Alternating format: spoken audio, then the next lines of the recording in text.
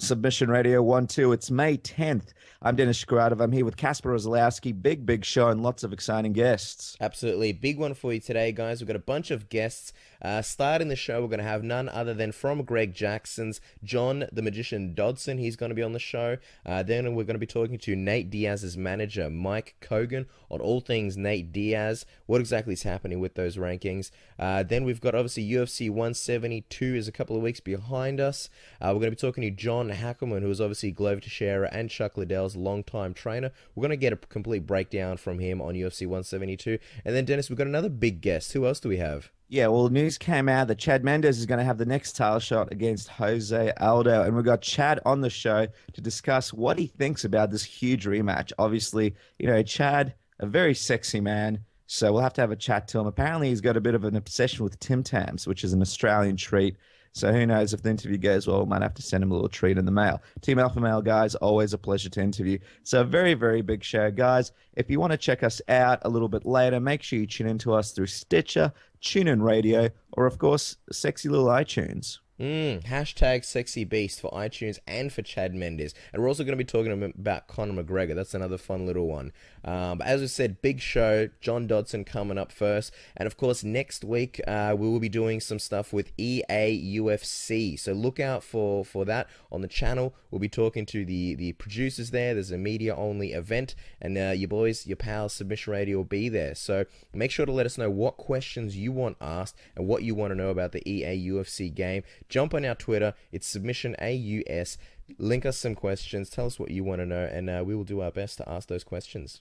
That's right, guys. And don't forget, subscribe to our YouTube channel, YouTube slash Submission Radio AU. A lot of great content coming onto it next week, including some huge guests next week. So you got a lot of stuff to look forward to from Submission Radio, and obviously four guests on the show today. So if you have, if you don't have very much time to listen to the full show, the order is, as Casper said, John Dodson, Mike Kogan, John Hackleman, and then Chad Mendes. So feel free to skip through and skim through to the interview that you'd like to listen to next. Absolutely. And uh, while we can't announce them just yet, subscribe. Do yourself a favor and subscribe to the channel because we do have some massive guests next week and it's going to be a really fun show.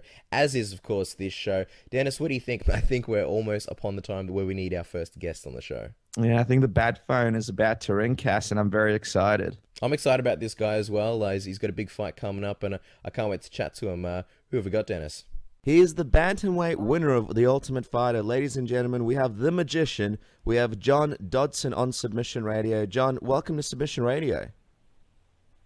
Well, thank you for having me on. Oh, it's an absolute pleasure. Now we'll get right into it, John. Last time we saw you, you knocked out uh, Darrell Montague in the first round. We haven't had enough John Dodson in our lives. Why the long layoff? Uh, I had a knee injury. I tore my ACL and MCL at the same time, getting ready to fight uh, Scott Jorgensen Wow. And it was like four days before actually I had to fight him. Yeah, we remember that. That's that's that's a pretty big deal. Uh, how is the knee? And uh, are you going to be like the six million dollar man in the sense that you'll be better than before when you come back? Well, I'm hoping so because if not, all this training has been for nothing. yeah. Well, speaking of the training, how's it going? Obviously, you have a very tough fight against uh, John Moraga on June seventh at UFC Fight Night Henderson versus Khabibulov. Um, how's the training going for the big fight? Well, it's been going great. I've been making sure, uh, getting on my striking game, making sure my knee is okay, and throwing a lot more kicks, which is, I'm trying to implement more. And everyone's talking about my jiu-jitsu game, so I'm thinking about displaying it a little here, uh, here in this fight. Now, uh, with with ACLs, they are really tricky. Obviously, GSP blew out his. Carlos Condit went down with with his. Um, how how's yours feeling? You know, so athletes really react differently to ACL surgeries and when they come back. How, how's yours going so far? Oh, it feels great. It feels like bad year. I've been trying to do some new stunts by doing like double backflips and double front flips here and there. But yeah, other than that, it doesn't really bother me too much. Wow, it just made a, a lot of Australians feel bad because you know some of us can barely do one flip and not even backwards, just forwards, off a diving board into a pool. But hey, I was gonna, I was gonna ask you, John, um, with, with this whole knee injury, with, with this whole knee injury thing, you know, there's a lot of knee injuries happening recently in MMA, a lot more than there used to be. What do you attribute that to? How did your injury occur, and do you think it's something to do with the, the hard training these days? I'll tell you the truth. Mine was just a freak accident. I slipped and my knee popped. Like, there's nothing really behind it. Yeah. Mm, uh, mm. With everyone else's knee injuries, there's probably uh, can attribute to them working out hard, but if you're- you want to talk about mine, mine was just like a, I literally fell on my butt and my knee popped out. wow. I was So, like, what? the hell? so there's no, there's no freaking out. there's no cool knee injury story there. Nuh-uh. I wish there was, because then it'd make it so much. It make it seem, make me seem so much cooler and tougher if it actually happened. Yeah, I wish there was a few sharks involved and stuff like that, but that's okay. Um, you've already fought John Moraga before in 2011, and you did beat him by unanimous decision. Uh, why do you think you've been chosen to fight him again? Because he just came off of a title. Well, he fought for the title and then he came off of a very close decision against uh, Dustin Ortiz. And since since Demetri Johnson already has a new opponent, uh, opponent lined up for his title fight or his title defense, I should say, they just wanted to make sure I can step up to the plate and see if I can be the next contender or, or if he's going to replace me in it. Is it is it tough fighting somebody again that you've already beaten? Is it tough getting mo- motivated for the training as a fighter? No, because for me, he's a brand new fighter. It's a different. It's a different person than I fought the first time. So me and him fought in 2011 off that was a Dominican Republic John Moraga, and now this is the UFC one. I get to see the new style, the new fight, like the new potential that he could bring. You know, and he's a new threat. Back then, he wasn't. Uh, he wasn't knocking people out. He was more of a wrestling and submission, and now he's starting to step up his striking game, and he's, and he's knocking out people a lot more. I feel like John Moraga has like an action figure, and back then you have the D- Dominican Republic version, and now you've got like the new fancy UFC version with fancy gloves. Sounds good. have. Yeah, you have to. You, got, you can't think somebody would be the exact same type of person. Like you get like all these new cars and stuff like that. You can't have like the '96 version of a of Camry versus uh, two, the 2014 ver- the 2014 version of the Camry because one's gonna be way better than the other one, more roomer, roomier, and like more comfortable to be to be around. And don't forget leather seats. Um, Oh yes, and park assist and all this stuff are coming in Lexus. Yeah, time to change them. if you're backing up, it beeps at you and like tells you, "Hey, now, slow down, guy." but um, do you think with rematches is do you think they're easier because you've already felt out your opponent, or harder because they've had a chance to do the same with you? uh, harder because you have to come up with new tactics and new styles to go ahead and beat him. You can't really sit there and sit there and be like, oh, if I beat this guy, I can just do the exact same thing because it's not the exact same fight. So, uh, speaking of what you're going to be doing, obviously you mentioned you you do you throw in a lot of more kicks and training. Can you tell us a little bit about what your game plan is going into this fight? Yeah, I'm gonna run up. I'm gonna run out there, touch his glove, and hit him with the left hand as hard as I can. if he doesn't go down, I'm gonna kick him. I just want to go home. I'm fighting in my hometown, so I got to put on like a semi-show, but at the exact same time, I don't want to get beat up and battered to go uh, to too bad, so I can, can't go hang out with my friends afterwards.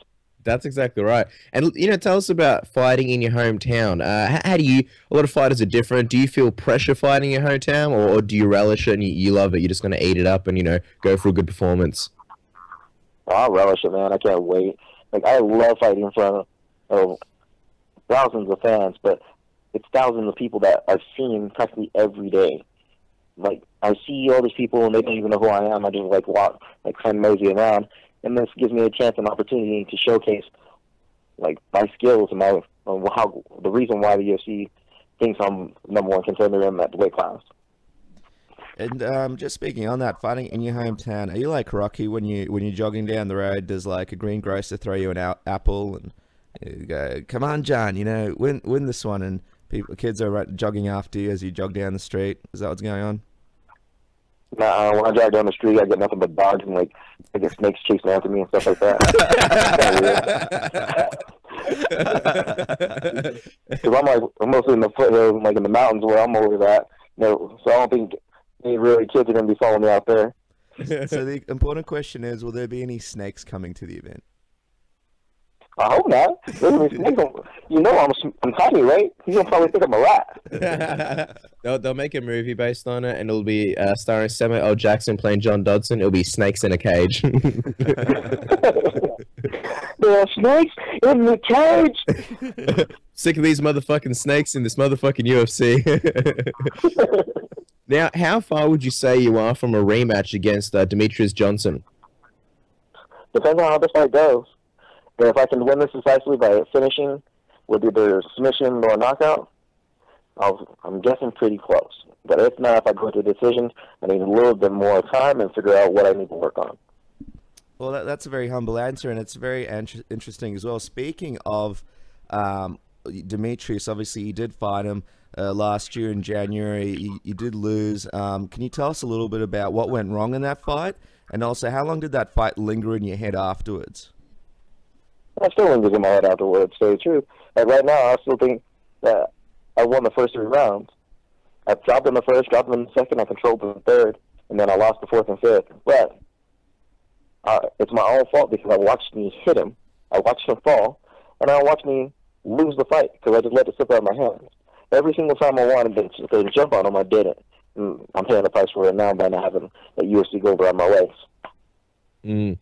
Uh, I'm missing that killer instinct that I, I had in my all my other fights when I wanted to get Demetrious Johnson. They gave me a little too much respect.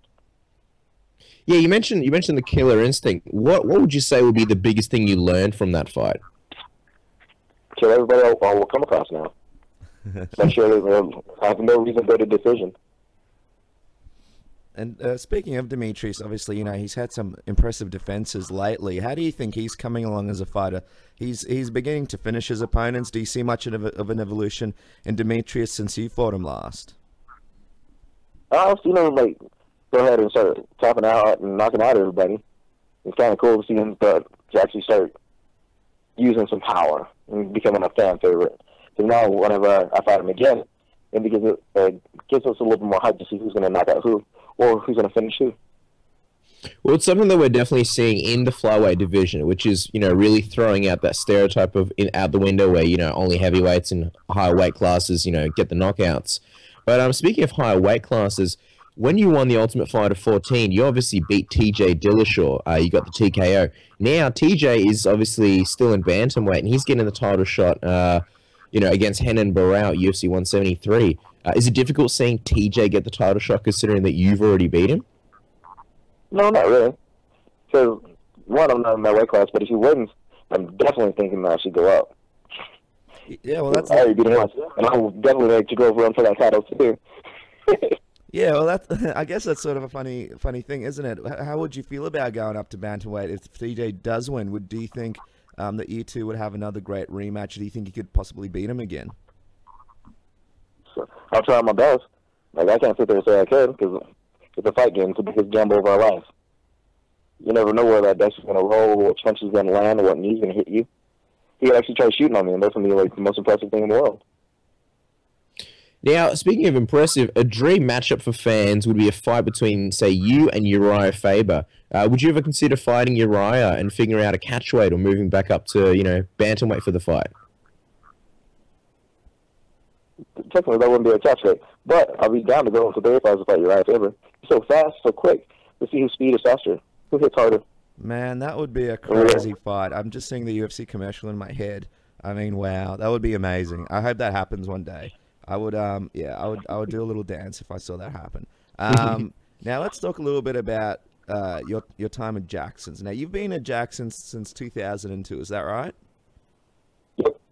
And um, tell us a little bit about what it's been like. Obviously, you've been there for you know over 10 years now. You've had a relationship with Greg for such a long time. What's your relationship like with Greg? Uh, we're kind of uh, just like a family mentality. I look up to him, and he looks and he looks to me for any advice that I can help out with any of with any of the guys. Like, hey, what do you think we can use on this strategy? So he looks to me like as if I was another coach in the in the well, just in the gym. And we've got a, he needs to corner anybody that he wants me to. I'll go out and go do that job. And then when I need to focus on my fight, he lets me sit there and take my time and do whatever I, I'll do what I need to get prepared. Now, obviously, Greg, you know, he, he's a guy. He's a real genius. He he he trains a lot of the best in MMA. He's very good as far as game planning, game planning, and strategies. What if you could say narrow down to one thing? What's the biggest and most important thing that Greg's taught you? To be myself. don't try to be like anyone else and start forming to like certain people's ideas and whatever they have to say. And if they don't like you for who you are, then they can pretty much kick rocks. You know, John, I was always wondering. Um, obviously, Jackson's has such an impressive uh, range of fighters, and you know, Mike Wink, he's always on our show chatting about uh, fighters and who's coming up. But I was just wondering, what's the situation with training? Obviously, you're not going to be doing sparring with guys who are in the light heavyweight, heavyweight division. But if, when you guys do grappling, oh, you, you still got, you guys still do sparring at the, um, in those. Yeah, so, also, yeah, why not? Wow. They might not like sparring with me because I'm faster than they are. but the same thing, the same thing goes for them. I don't like sparring with them because they're heavier than me. They throw heavier punches. I got done messing around with Andrei. Like Andrei Arlovski is making his uh, UFC return uh, for UFC 174, I think. I don't know if it's been confirmed, but yeah, I know Yeah, he's yeah, versing yeah. Sharp. Yeah. Uh, John, I, I, so I was gonna I was gonna ask you. That's really really interesting. And then you guys obviously do grappling together as well, um, no matter what weight class. Is that right? Yep. Um, they can use our speed to help them get better, which is like we can use our strength. That actually body weight kills us to make it and motivates us to stand up and get to new positions and not to be trapped. It's always being in that tough, like being in that rock and a hard place. so That's what it is for us. that's that's very very interesting. I didn't I didn't realize that. So uh, my question to you is obviously um, people are saying that Alistair Overeem's coming over to Jackson's. Are you excited to be working with Alistair? Obviously, like you mentioned, you have a lot of speed, but Alistair's got a lot of power. Do you think you can learn a lot from Alistair and vice versa? He could from the team.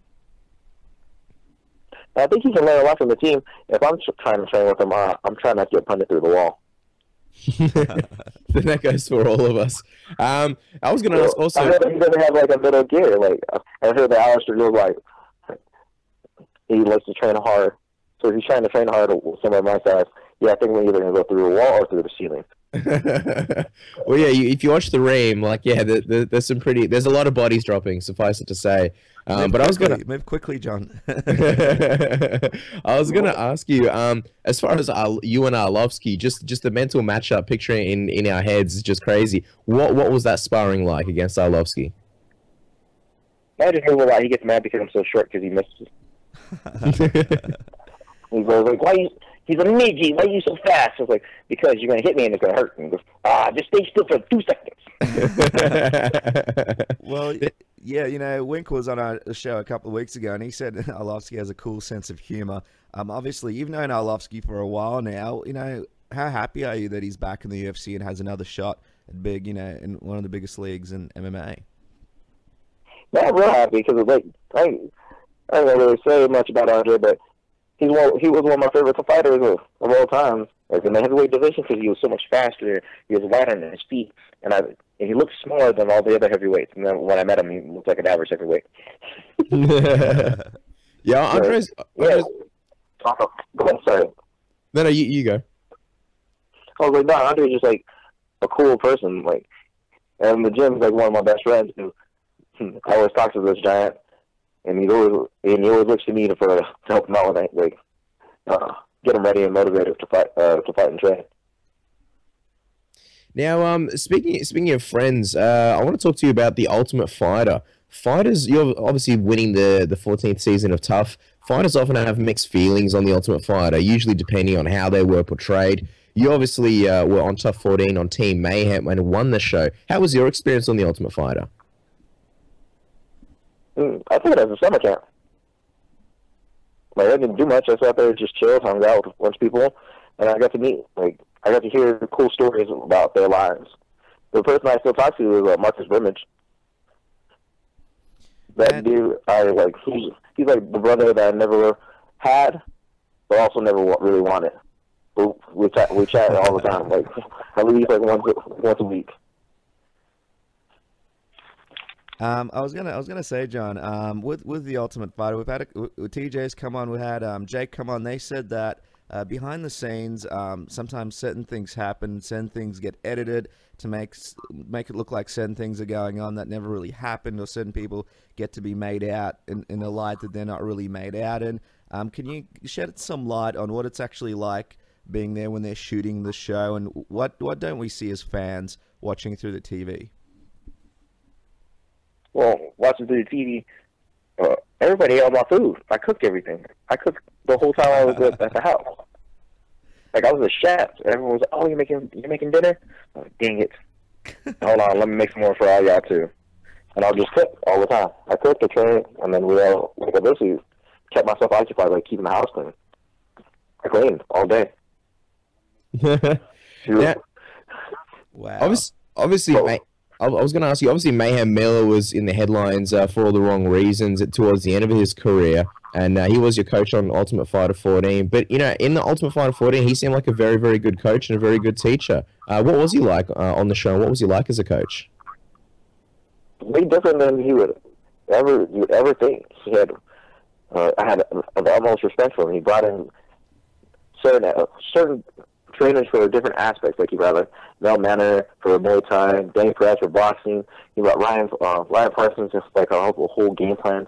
Uh, Mayhem was doing jiu-jitsu. Brought in uh, Kamal Usman for uh, wrestling. I was like, man, he brought everything that could pop that we possibly want from like a coaching staff and gave it to us. So when we wanted to improve like our whole overall game, we wanted to work on the things that we were already great at, so we can have potential, so we can potentially win the show. He gave that to us. He gave us the people that we wanted to work with. We with them. If we wanted to hit mitts with certain people, we wanted to new, learn new styles. We want to brush up on certain things or pick their brain. He get like allowed us. He gave us access to everything that we wanted. Um, and uh, what, what, So, what what do you what do you think of uh, what's happened to uh, Jason recently? Obviously, he's had a bit of a rough run with things. Um, do you still speak to him? Yeah, what do you think what, about what's happened to him recently? Very true, man. I don't know what is dude. What is this dude's problem?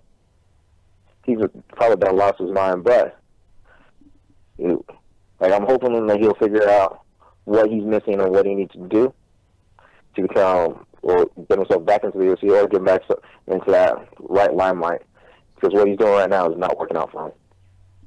Yeah, I think I think Mayhem Miller, he was a fan favorite for so many years. You know, I think a lot of people hope that too.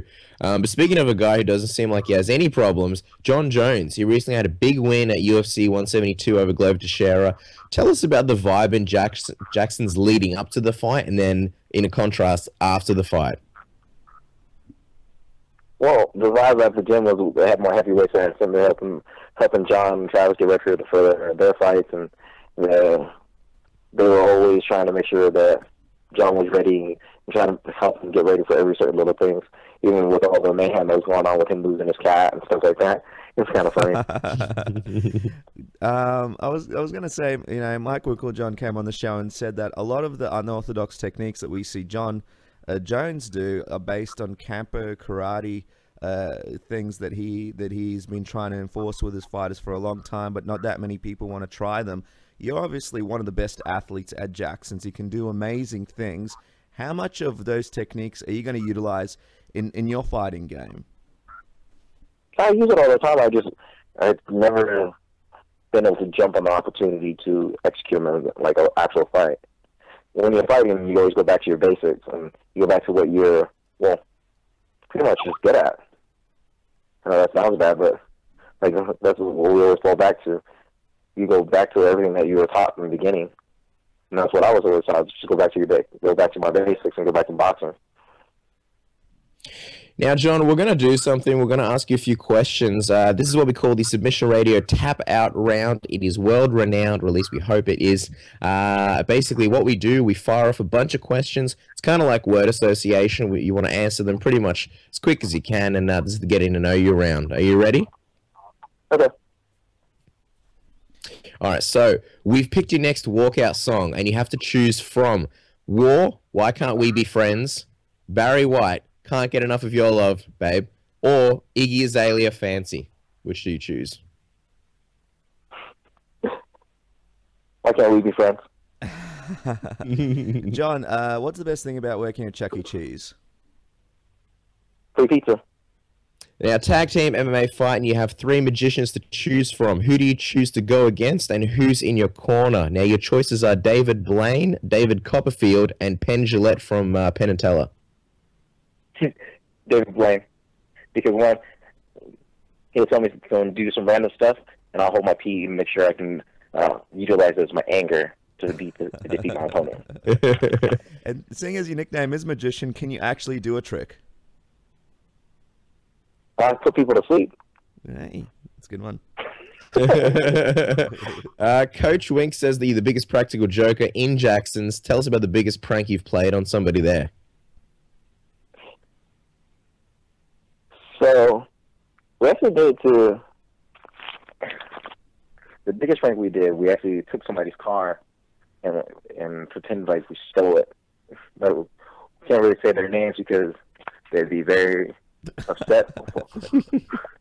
but yeah, we took their car and we basically just literally just stole it and moved it to and took it to their house. But he didn't come find it, so he was running around looking for it. And then the cops that the, the cops that helped us uh, move his vehicle to his house.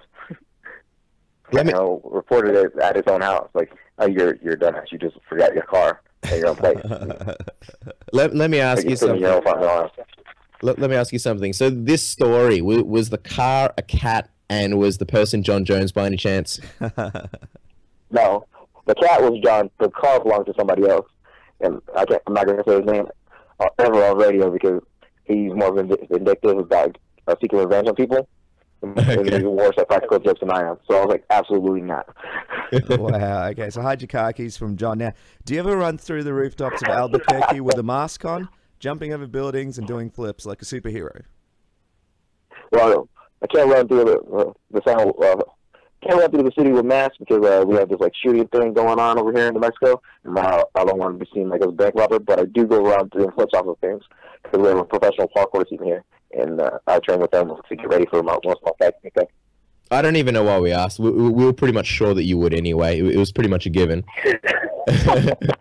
now it's karaoke night in Jackson's MMA, and the theme is duets. Uh, what are you singing? Who do you pick to sing with you? And which duo are you going against? Hmm. The person I'm singing with is Cal. Or actually, the person I'm singing with is Michelle Waterson. And the people I'm going, the duo that I'm going to go against is Cowboy and Leonard Garcia. All right, nice. Now, have you ever told a girl you're a, you're a flyweight and try to work the name of the division into a pickup line? No, I, I always use just my, uh, I use my ethnicity. I tell people I'm a Filipino, a, a, a Fligger, and they're always like, "What the hell is that?" It's like Filipino and black. And if you really want to understand it, you can throw on this nigga all you want, and it works. nice. Uh, if you were in the heavyweight division, who would you want to fight? all of them. Because I, I can knock out every single one of them with it, since they don't have to really worry about uh, footwork or anything else. They just sit there and walk you, to, walk you down and punch you. Look at Roy Nelson. He knocked that little dog, but, but with his head down, hands down, at his hips, and just swung his arm. I want to be able to do that. If you were a painting, what kind of frame would you have? An oak wood frame. So it's nice and heavy for this light picture that will be up there. Mm, Oakwood. Yeah, that's a good one. We thought that question would stump you, but it seems like you, you really thought that one out. Here's one for you. Do you Google yourself? And if so, how often? Uh, I really don't Google myself. I only Google myself when people tell me that they find something funny about me. Awesome. Now finish the sentence for us. No one knows that I. have my room full of comics and have nothing but video games and toys in my room. I'm like a little Nice. kid. Let's be Respect. friends. Let's be friends. uh, if your career finished tomorrow, what is the biggest highlight thus far? Uh, the biggest highlight thus far is I got to fight main event against Dimitri Shastra for a title fight, and 7.7 million people saw me be awesome.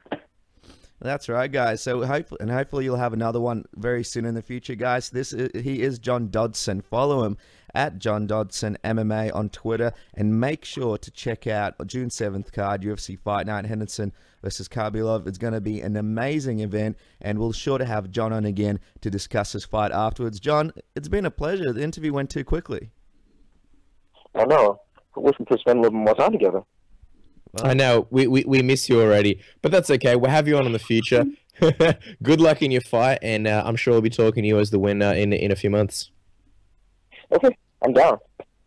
Always, You a, already, you already said the thing that I'm already going to win. Yep. yeah, exactly. We're, we're we're psychics like that. John, thanks so much for coming on the show. We'll uh, we'll speak to you soon, and good luck in the fight. Oh, Thank you guys, and I can't wait to come back on. John Dodson, such a nice guy, the magician. You know, what an awesome nickname, and definitely one of the more, gifted athletes in the UFC. But uh, moving on to topics that have been happening in the UFC this week, a hot topic has been Nate Diaz being taken off the fighter rankings by Dana White and the UFC. Yeah, you know, it's it's a really interesting thing that's basically happened. A lot of people are in uproar as far as Nick, uh, Nate Diaz being taken off those rankings.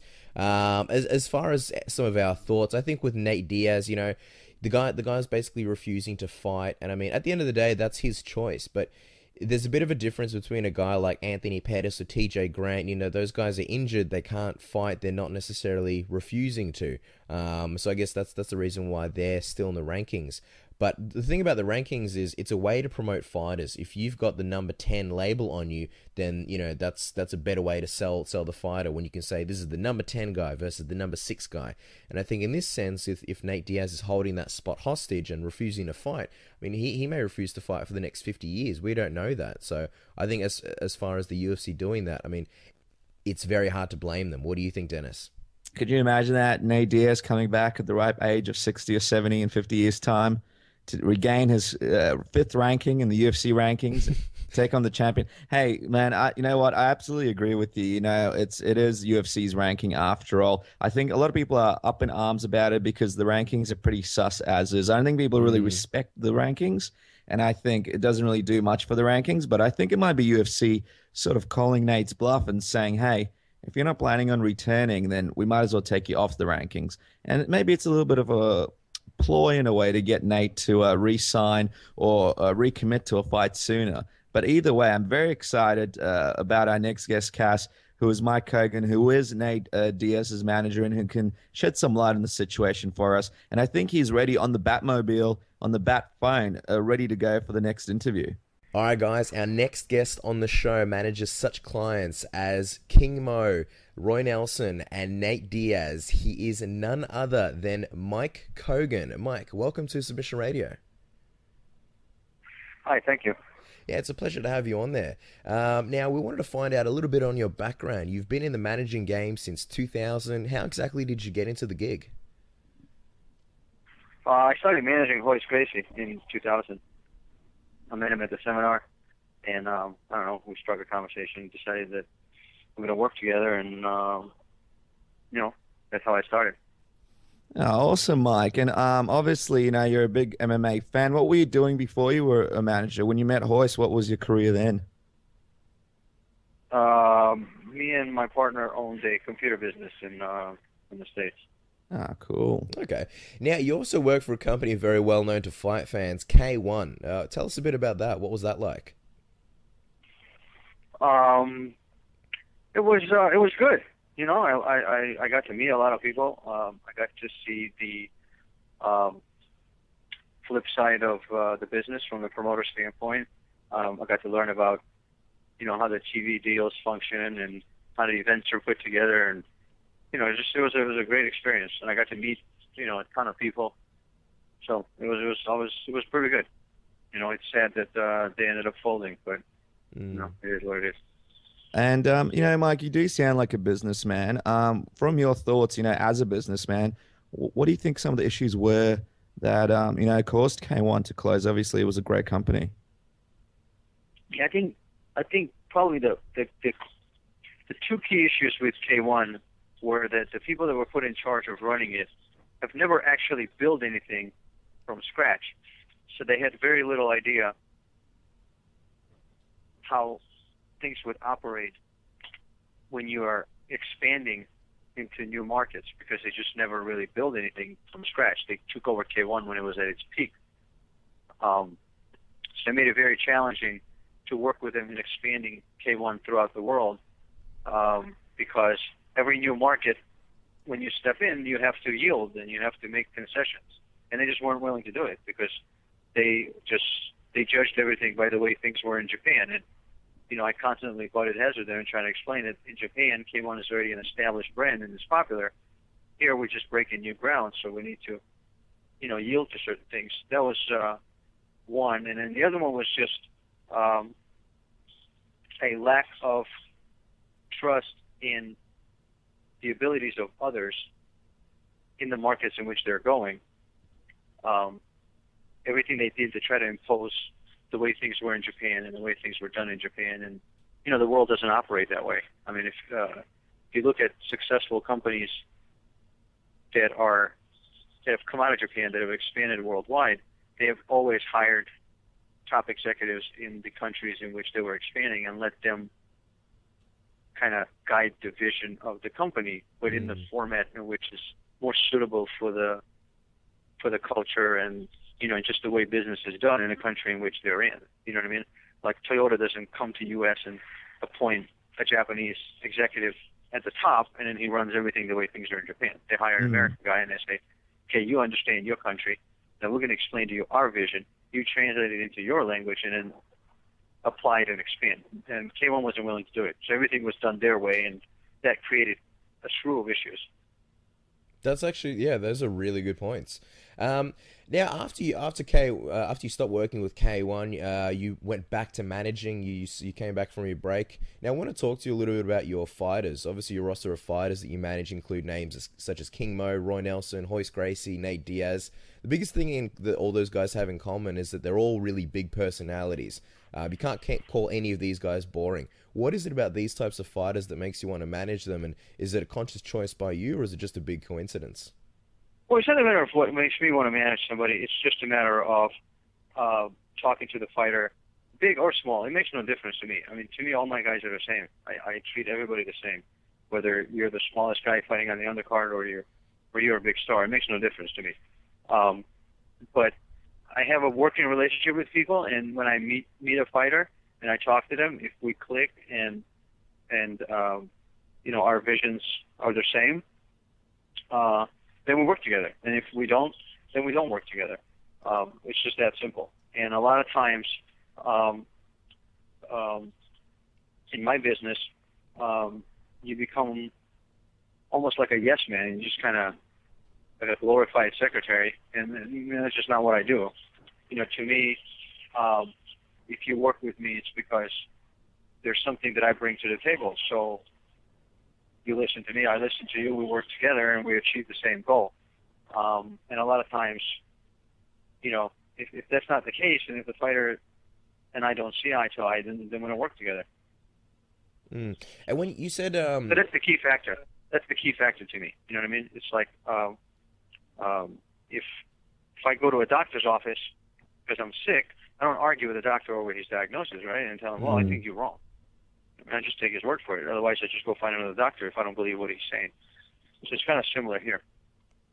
You know I mean? I have to be able to have the same vision for my guys um, as as uh, and we both have to be on the same page, and then you know we we go from there.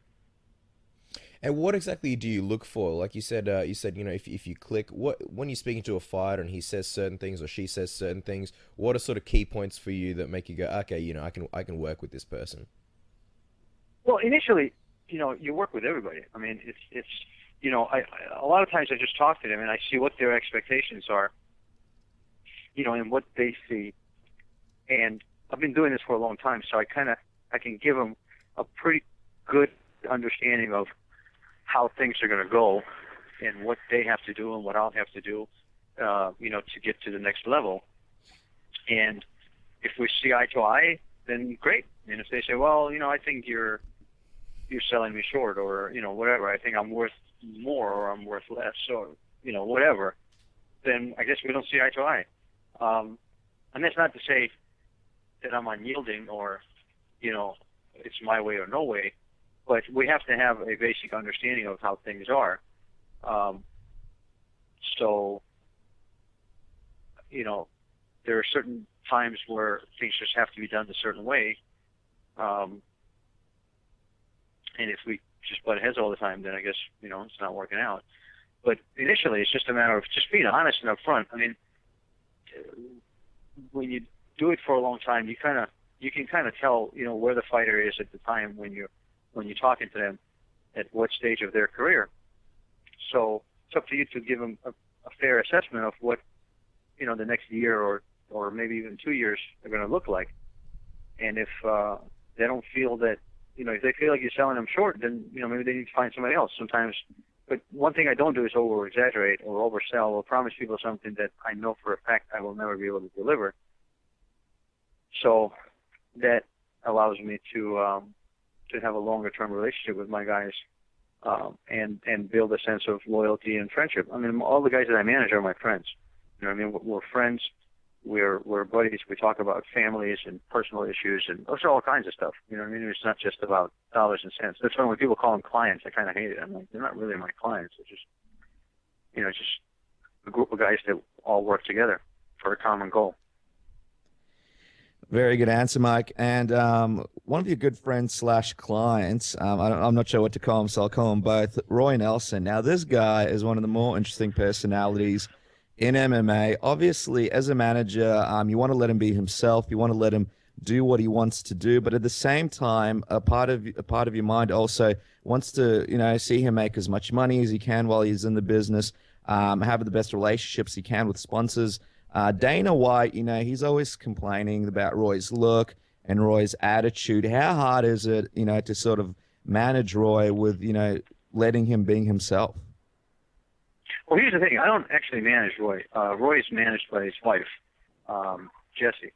Uh, I'm friends with Roy, so I've helped him out when I could, and uh, and give him some advice and what have you. But I don't manage him, so. Don't really feel comfortable about talking about it. But one thing I will tell you is, no matter what Dana White says about Roy Nelson, um, the fans love him, and he's still in the UFC, so that's all that matters. Yeah, I, I was gonna say just uh, as far as Roy goes, seems like Roy's just a genuine, honest guy who, you know, doesn't really let the pressures of the world's toughest sport to get him. And I think, you know, maybe Dana White, you know, there's a few misunderstandings. Um, I wanted to ask you about one of your other, I guess, let's say friends, Nate Diaz. He's been in the news a lot recently. His last fight against Gray Maynard was, you know, fantastic performance where he really put it to Gray in a brutal display. Biggest story coming out of that fight though was that Nate apparently, allegedly, only getting paid fifteen thousand to show and fifteen thousand to win. Gray, meanwhile, was getting forty five thousand to show. People made a lot of big a big deal about this. Are you able to shed a bit more light on that? And is is that really what Nate got paid? Well, uh, here's the thing. So, fighter pay in the UFC has always been uh, a private issue, and I, don't really feel like it's anybody's business. Um, he has made he has made statements about his pay in general, um, whatever that number may be, um, that he was unhappy about it and he wanted to be able to sit down with uh, the UFC and talk about it. Um, but I really don't feel comfortable discussing other people's money um, and their paychecks. I mean, it's yeah, no, absolutely, not really Mike. anybody's business, so to speak. Yeah, no, absolutely, Mike. We totally understand that. Um, now, obviously, Nate was taken down from the rankings uh, this week. Um, it's Dana White said it's because he's been waiting for Nate to make up his mind whether he wants to fight in the UFC or not. Um, have Have you had a chat with Nate about that? And is that something that uh, that Nate cares about being taken down from these from these UFC well, rankings? I mean, here, yeah, here's the thing. So, I understand the whole point of inactivity but then there has to be some kind of consistency. Whether a fighter doesn't agree to a bout or a fighter is injured, either way, they're inactive. So if you're going to keep TJ Grant on there for a year and Dominick Cruz on there for two years, and even Gray Maynard, whom Nate beat at the same time as they fought each other, then why do you take this guy down? You know what I mean? I mean, it just it doesn't make any sense. It makes sense to to take off the inactive fighters to give way for the active fighters. But then there has to be some kind of a rule that's been established and agreed upon and what have you by everybody. My understanding is these ratings are a collaboration between various media outlets and various different voting outlets that comprise together a panel that votes for it, right? So if there was a rule in place, then somebody should have let us all know about it, right? We didn't know about it until just out of the blue, people just start popping off of there and they go, well, it's for inactivity. So to me, that just undermines the entire concept of this ranking. So really, I don't care. Uh, know, whatever. Want to take him off? Take him off. It's fine. It's your rankings anyway. yeah, that's right. And there I mean, if you look at if you look at uh, USA Today rankings, he's still ranked number nine. So they didn't take him off. You know what I mean? And somebody else's rankings is still ranked, the UFC rankings is not ranked. So it's whatever. Who cares? Yeah, you know, there is some criticism of the UFC rankings, especially with the idea that they did only bring them in once they uh, joined up with Fox, Fox, and that's just being the only reason. But um, I was going to say, uh, I was going to say, Mike, obviously, um, it, it, it's a bit of a frustrating situation, a little bit of a frustrating situation. Do things like that hurt negotiations when you guys are, are trying to, you know, figure out the best suit for your client and for uh, working with the UFC potentially? Does that sort of hurt talks and negotiations a little bit? That he was taken off the rankings. Yeah, things like that. Well, if you look at the rankings, and him him being number five at the time when he was taken off, and you take it for the merits of his performances and the caliber of competition that he's beaten to get ranked, then being taken off or being put on doesn't change the fact that he's beaten half the people on that roster. Mm-hmm. So I guess it's just a matter of how you look at it, right? I mean, he beat Donald Cerrone, he beat Jim Miller, he beat Gray Maynard, so they're all ranked. So you take me off, that's fine, but I still beat him. I mean, that that's that that doesn't go away. You know what I mean? And so you know, it's just a matter of how you look at it, I guess. Most people consider Nate in top five best fighters in the world. I mean, best best 155 pounders in the world, regardless of whether he's recognized that way officially or not. So, you know, it's whatever. And I think that's why you know the big uproar came about about Nate being you know taken off the rankings, mainly from the fans' perspective, because everybody does want to see Nate back in the octagon. Um, Nate obviously is you know is, is on the sidelines at the moment. What what exactly is the main reason you know why why Nate you know doesn't have a fight lined up at the moment? Well, we we asked to sit down and have a conversation about our contract, and um, they said no. So we said okay, well then we'll sit out and wait until you know something changes. So from from a manager's perspective at the moment, at the moment you guys are basically waiting until until you know some either a better offer comes along or the UFC changes something. Is that correct? Well, I mean, right now I don't know. We're just kind of all in limbo. You know, hopefully we'll sit down and have a productive conversation. So far, all of our interaction has been through media. You know, we say something and then they say something and then we say something. We've yet to actually have a conversation. Um, I had a brief conversation with uh, Joe Silva, and you know, he said, "Well, it's not going to happen." So we said, "Okay, sounds good. Well, we'll just wait, wait and see." But we don't have a specific goal. Like, I don't, you know, we just want to be able to have a conversation and see what happens. Absolutely, Mike. You know, and that that does seem a little bit silly and trivial that um you guys, you know, don't have an opportunity to sit down and have a conversation just yet. But I was going to say, Nate, um, on Twitter asked for a release from his contract a while back. Um, would if if you know worst comes to worst and you guys can't come to a good deal with the UFC or you guys don't agree on certain things, would Nate be open to fighting in other organizations in the future, or is obviously he's had such a great career in the UFC, is uh, continuing fighting in the UFC an important uh, aspect for Nate? No, I mean Nate will be open to fighting anywhere where he's paid the most and where his stock has the most value. but we are under contract with the UFC, so it really doesn't matter. It's kind of a silly question. Unless we get a release, this this scenario doesn't exist. So what's the difference? Well, let's talk about uh, obviously. Obviously, Nate is in the UFC now. Another one of your your you know friends or, or clients, King Mo. He's in Bellator. Um, he's what are what are the main differences between dealing with the UFC as opposed to dealing with Bellator, and what would you say the pros and the cons would be?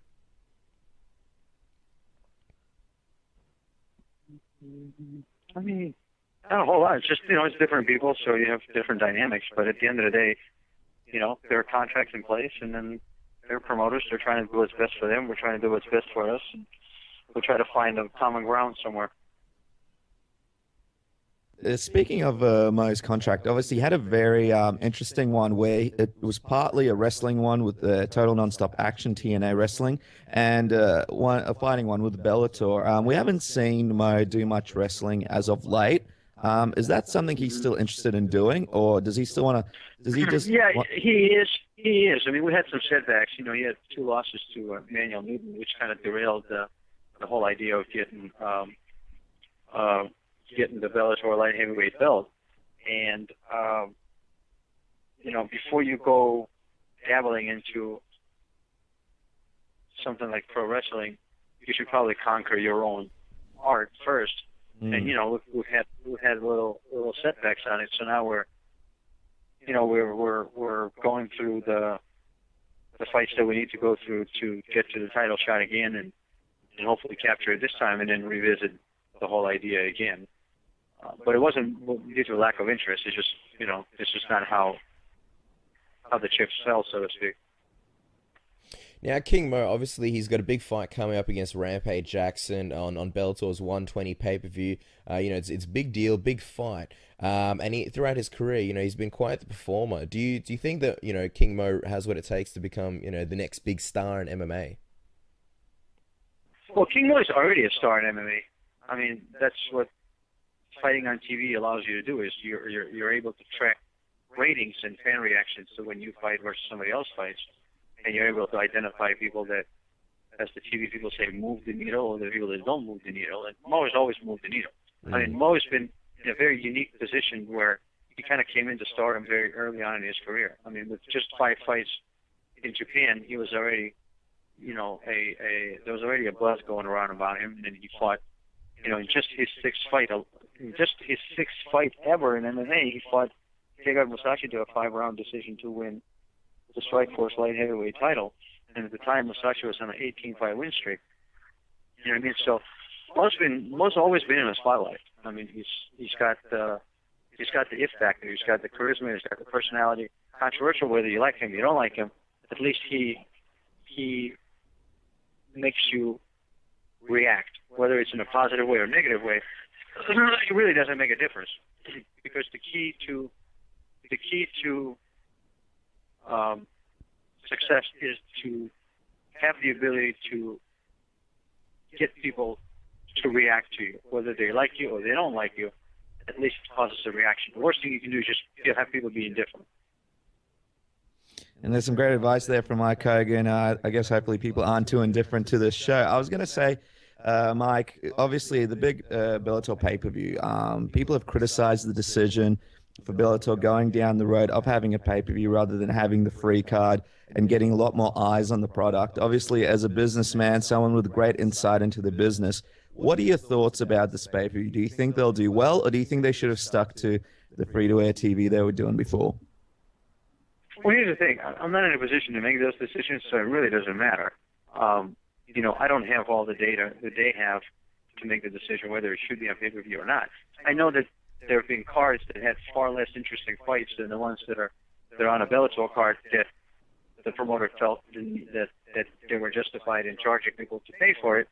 So, you know, why not? I mean, this is a fight that that has been brewing for the last four years. You know, you have two very talented athletes um, that genuinely hate each other and are kind of put in a position of a must-win situation. I mean, this fight, you know, this fight is not for the belts or for the glory. This fight is for bragging rights. This fight is for who gets to tell who I beat your ass on May 17th.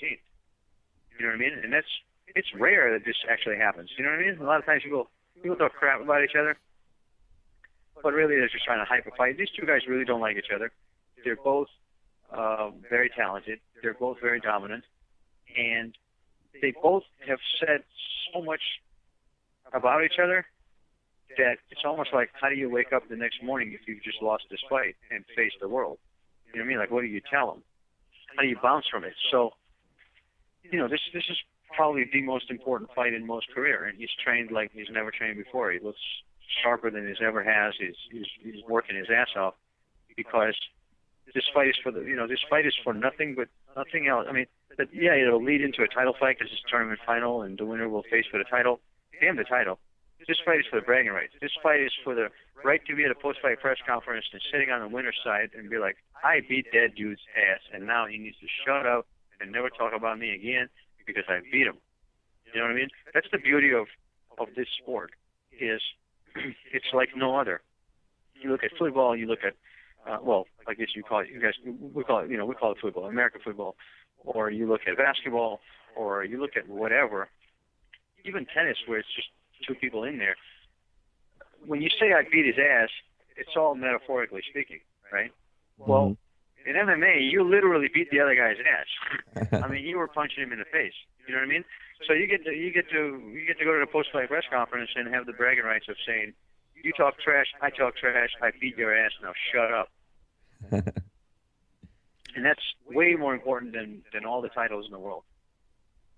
Well, I think if we weren't excited enough as it was, I think we're a lot more excited now as well. Um, and I, yeah, we, we, all we all can't wait for that fight. Now, I wanted to ask you something. Yeah, also. I mean, you know, people that tune in to watch it, I mean, they basically get to witness two guys that have talked trash about each other, and and and only one of them will walk away with with with the right to keep doing it, and the other one will just have to be quiet. Wow. Well, at the end of the day, you know, some martial arts purists sometimes they say they watch for technique and things like that, but I think it's human nature. You know, if if if you watch two guys fighting, if you don't know who they are, you don't care about them, you're not really going to care. But you know, if you have some kind of emotional attachment, whether you're a Rampage guy or a King Mo, I think that's always going to you know spice things up for you and make you want to tune in. I think this is definitely one of those. Yeah, I mean, this is you know, their their feud is is a very true to life situation, right? I mean, people beef with other people all the time, Mm, except when you you know when you're not a professional athlete, a professional fighter, you don't get to punch the other guy in the face, or at least you don't get to do it without going to jail. mm. And here, you know, you just get to sit down and watch two guys that really hate each other duke it out, and one of them be able to say, "Yeah, I beat your ass, so now shut up." You know what I mean? And as humans, we just get satisfaction in it because we've all been in those situations. You know what I mean? So even though it's not us fighting against the people that we have had beef with, we're just able to resonate with it and just be like, "Yeah, that was cool." See, he talking all that crap, and now he got his ass beat. Yeah, well, I mean, uh, yeah, it, it, we already know exactly where we're going to be on the 17th of May, checking out Bellator 120. Yeah, and the beauty here is like you know sometimes you have you have like the bad guy and the good guy.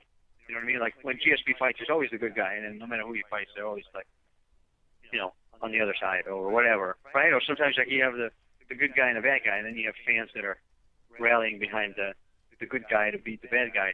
Well, here you got like two guys that are just talking trash, so the Mm. fans are split right down the middle. You know, if you're a Rampage fan, you're cheering for him. If you're a Mo fan, you're cheering for him, and that's there's that.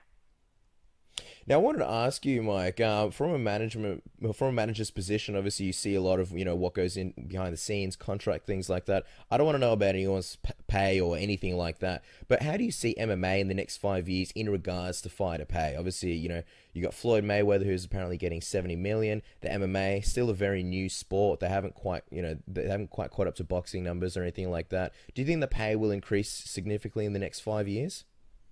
Well, it really depends. Uh, I think MMA needs to make a decision whether it's a sport, uh, in a sense of a, an organized, you know, uh, sporting league like soccer or or basketball or whatever, or whether it's prize fighting, which is what boxing is, right? And if it's a prize fighting, then there needs to be some legislature uh, in place, like there is in boxing. In the U.S., we have the Muhammad Ali Act which gives fighters, especially the fighters at the top, leverage to negotiate, uh, leverage to know exactly what the, the profits are that the promoter makes, and can be able to leverage that against what they feel that they should get. And it also gives them the ability to be associated with various different promoters and, only do one fight at a time or two fights at a time or whatever, and then balance and go to the highest bidder. Um, MMA doesn't let you do that. But at the same time, MMA doesn't have the powers that other leagues have, like collective bargaining with the unions, or you know, an ability to to set some minimal standards that that that have to be followed. There are some standards that, for example, the UFC enforces. You know, they have a base pay that starts at a certain level, but that's just the numbers they came up with. You know, there was no input from the fighter side. So, you know, I think it's going to be interesting to see how the landscape changes. Uh, if if MMA continues to grow on on public television, then inevitably they will eventually have to start forming more of a league kind of format and and you know have fair compensations and give people the ability to you know really make a career out of it. I mean, I don't think an average person realizes the hardships that a no-name fighter that's making you know 10 and 10 to fight goes through. Uh, they're literally do it mostly for the passion of the of the fighting. You know what I mean? And it sounds nice and dandy, but when you've done 10 years of fighting and you're getting punched in the face and 10 years goes by and you don't have nothing to show for it, it's kind of sad. You know, even in the NFL, you can play for 10 years, nobody ever heard of you. But when you retire, at least you have a pension, you know, you Mm. have health insurance, you have you have things that you can at least go on with. But Here you have guys that have no other skill except for punching people in the face with nothing to do, and they've earned virtually no money to speak of, in, in majority. I mean, I know we always focus on the handful that have made money, and people say, well, you know, you could be like him and make as much. That's true, but not if everybody was like GSP, then we wouldn't know what it's like to be GSP, right? Because then we have no, no frame of reference. Everybody's a star. Everybody's making gazillions. but what about the the, uh, the other guys? If you compare it to other sports, no matter what happens, now if you're mismanage your money and you're you're an idiot, then that's that's on you. But at least you're given the opportunity. You know, you retire from the NFL, you play there for 10 years, and nobody knew about you. You were just another guy on the roster. You know, you might you will have your whatever pensions they have, a hundred thousand or hundred and twenty thousand, which is not going to you know make you super rich, but it allows you to pay your bills and and and, and live. You know what I mean? And if you are smart with your money and you save some of it and invest it or whatever, maybe you'll have a life. But it's like imagine going to college and having a job lifespan of 10 to 15 years at the most. And when you're done, you have nothing to show for it. I mean, that's pretty sad. Mm, mm. I don't think a lot of people realize it. So most of these guys are forced into having other careers because they can't fully concentrate on what they're doing because they have to have a job just to pay the bills. And when they're done, you know, a lot of them just sit there and kind of be like, what the hell am I going to do now? I don't know. It's a scary thought. Yeah, I mean, absolutely. and only fighters are put in that position. Promoters are not put in that position. They just keep getting new fighters. Managers are not put in that position. We just keep getting new fighters. But the fighter himself has got nowhere to go and nothing to do and nothing to show for it. That's pretty sad. Absolutely, Mike. That's a really, really point. And what I wanted to um, also say is, you know, obviously with MMA growing now, you have a lot of kids going into the sport as well. They're age 17, 18, 19. And uh, that, like you said, that's all they know. Whereas previously, you know, you had people with other professions going into the sport. Um, do you think there should also be some sort of uh, system where, like you said, they learn other skills while they're while they're um, MMA fighters. For example, if you're a kid who's 17, 18, 19, and you're in a major organization like Bellator or the UFC, should there be some kind of program where you learn an alternative skill so when you get out, um, you can go on to do something else? Well, maybe. I mean, you know, all of it has to do with economics. I mean, uh, to compare the UFC to the NFL is not really fair to the UFC either because NFL receives $9 billion in TV deals. Mm. You know what I mean? Plus sponsorships, plus merchandise sales, plus ticket revenues. And we're not talking about 10,000 people. We're talking about 60, 70,000 people sitting in the stadium. Uh, you know, plus other subsidies. So yeah, they have a lot more money to work with, and they have a lot more uh, opportunities to create, you know, different um, different platforms for for the players and and and uh, uh, you know what happens to them, especially in, in post post NFL careers.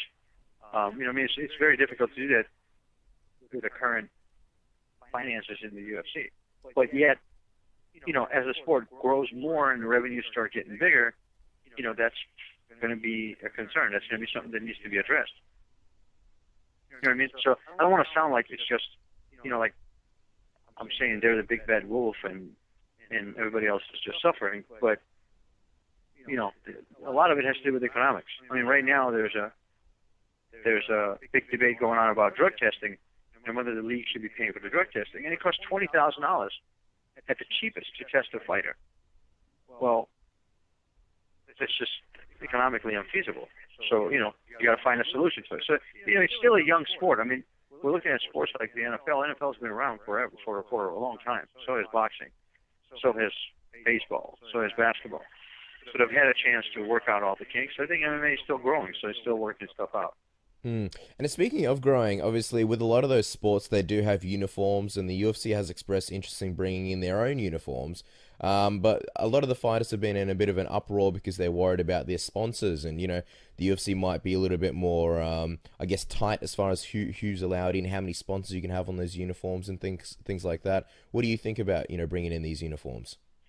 Well, here's the thing. So first of all, sponsorships in the UFC are a luxury. If you read the UFC contract or any promoter's contract, sponsorships are within the discretion of the of the organization. And they've been letting people have sponsors, so it's almost became a given, but it's not a given. It's in the contract that states that they can yank any logos they want and they can put any logos they want.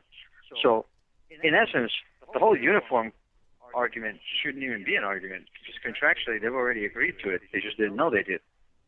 Um, but it, once again, it it matters how it's approached and how it's done. Every sport has a uniform. I mean, the basketball players aren't running around in different uniforms or whatever they feel like putting on. Everybody has uniforms. So I wouldn't imagine that UFC would introduce something without compensating the fighters. Now, whether the compensation is fair or not, you know, it's in the eye of the beholder. I mean, some people might be fair, some people won't. I think it'll hit hardest the people that are on the top echelon of the UFC and they're getting big bucks from their sponsors. But then again, there are such things as endorsement deals. You know what I mean? Um, so, for example, uh, Michael Jordan well, used to endorse Wheaties and Hanes. Well, he didn't run around in Hanes underwear on the court, did he? you know what I mean? So that's a whole different story. Nobody's stopping you from doing that. So it'll change the landscape. But I think for a lot of the smaller guys that are fighting on the undercard and are getting a thousand, fifteen hundred, two thousand dollars at the most, they might actually benefit from it. They might be getting more money. So we just we don't know. I just MMA is one of those like it's a very like bitch first, ask questions later kind of a landscape. Like all we do is just bitch, and then and then we figure out what's going on. We're like, oh, that's whatever. Just let it play out and see what happens, and then you can bitch about it. Especially when you really don't have much ground to bitch on, because, like I said, you already agreed to this in the contract. You just don't know you did. Well, you should know you did. You know what I mean? So I'm one of those people that says, well, let's see what you know. What's the, what's the deal? I mean, what are they offering? What are they saying? you know what I mean? What kind of transitional time are you getting? You know what I mean? Like, let's say they say, okay, by next year, you know, or we're going to let your existing contracts run out, and then we'll switch over, or we'll buy out your contracts and run out, and then let's switch over. You know what I mean? Because yeah, there are those factors like you know, Jon Jones signed a deal with Nike. I don't know what his deal is like, but let's say it's contingent upon him wearing the uniform inside the cage, and it was approved and done with. And now all of a sudden here comes the UFC and says, you got to take that stuff off and put Under Armour on. And he said, well, I'm going to lose, you know, a lot of money. Do they say, no problem, we'll compensate you for the money you lose it, to be fair? Or do they say, we're going to, we're going to let your contract expire, just don't re-sign it, and then we'll work out a deal. Or they're going to say, well, we don't really give a shit. and your contract says we can change it, so we're changing it. Have a nice day. Okay, then you can go bid. That's a, that's a great point there, Mike. And final question before we go on to the tap out round, which will be a lot of fun. Um, obviously, you've mentioned uh, a lot of really interesting points here. Um, one of the things I was going to ask you about was obviously after an event, for example, a UFC event, they disclose uh, money as in terms of show money and stuff like that, but they don't disclose 100% of the money that the fighters make. Do you think, like in boxing, um, people sh- that they should disclose publicly how much every fighter makes, because um, then it will make a good um, a good case for managers and people trying to negotiate contracts, knowing exactly who makes what and where they stand in the sport. Well, I think that's a that's a question that needs to be put up for debate, and, and input from a lot of the different fighters should come in. Um, I mean, um, you know, I don't know how it's in Australia, but in the U.S., it's usually not very polite to ask people what they make. So some people like to keep their earnings private for whatever reasons. Um, you know what I mean? Um, but at the same time, if there is a if there is a rule like there is in boxing, with uh, you know, there's actual legislation that that says that there has to be transparency. You have to know what the fighters make, and the fighters have to know what the promoter makes. And everybody has to know what everybody makes, and then they can make a deal. If such a law exists, then everything gets disclosed, not just what the fighters make. Otherwise, it's up to, a, you know, I think it's left up to an individual fighter. And so far, I haven't seen anybody complain that their earnings aren't being reported or or they are being reported. So yeah, well, there you go. I think it's just public. I mean, I think it's just public's curiosity um, as to what what other people make. You know what I mean? Mm. But MMA doesn't have these crazy numbers like they do in boxing, so it wouldn't be as exciting. You know what I mean? It's far more exciting to hear that Shaquille O'Neal signed a five-year, you know, 120 million dollar contract because it just makes us go, wow, that's a lot of money. Uh, these numbers don't exist in the UFC. So what? I mean, in the MMA period. So what's the point? Okay, yeah, that is a good point. Um, now, Mike, what we're going to do now is uh, something that we call the. You know what I mean? It's like when when when the when the commission discloses the numbers, and most people log in to read, they only read what the headliners made. They don't give a shit what some guy on the undercard made. No, they go, oh, this guy made eight and eight. Oh, okay, great. They go, whatever. So what's the point? Hmm. Now, Mike, what we're going to do is something that we like to call the Submission Radio Tap Out Round. Uh, this is basically the Getting to Know You round. We're going to ask you a bunch of questions. It's kind of like a word association, and you, you pretty much answer them quickly. Uh, you ready? Mm-hmm. So now, Mike, what's the best thing about being a manager? The best thing about being a manager is being associated with guys and being able to be part of their lives and being able to hopefully positively change their lives for the best. Very rewarding, especially when you you do something because you have a gut feeling and it and it pans out and things just fall into place. This this is a phenomenal feeling. Okay, if you could manage one person in the music industry, who would it be? in the music industry. Uh, I don't know if Beyonce knows. If you were stuck on an island, you can only bring three people with you. Who do you bring? Uh, I bring my wife and my daughter. Okay. Uh, finish this sentence. I don't need anybody else. Finish this sentence. On the weekends, I. On the weekends, I try to spend as much time with my family as I can. Do you think that Bellator World Series of Fighting could be a real competitor to the UFC one day? Or do you already think that Bellator is? Um, I think it could be yes. Okay, who's the biggest practical joker of all your clients? Um, practical joker. Always used to be, and then he kind of grew out of it.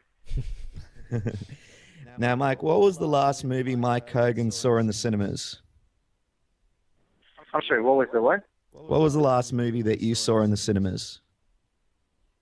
Last movie that I saw in the cinemas. I don't really go to the cinemas that much because eventually it all comes out on DVD. The last movie I just saw was The Butler. Ah, that's a good Oh, one. yeah. Uh, what is your next goal as a powerful manager in MMA? Uh, my next goal, I would love to diversify my guys' exposure and be able to dial it into unrelated to fighting uh, industries.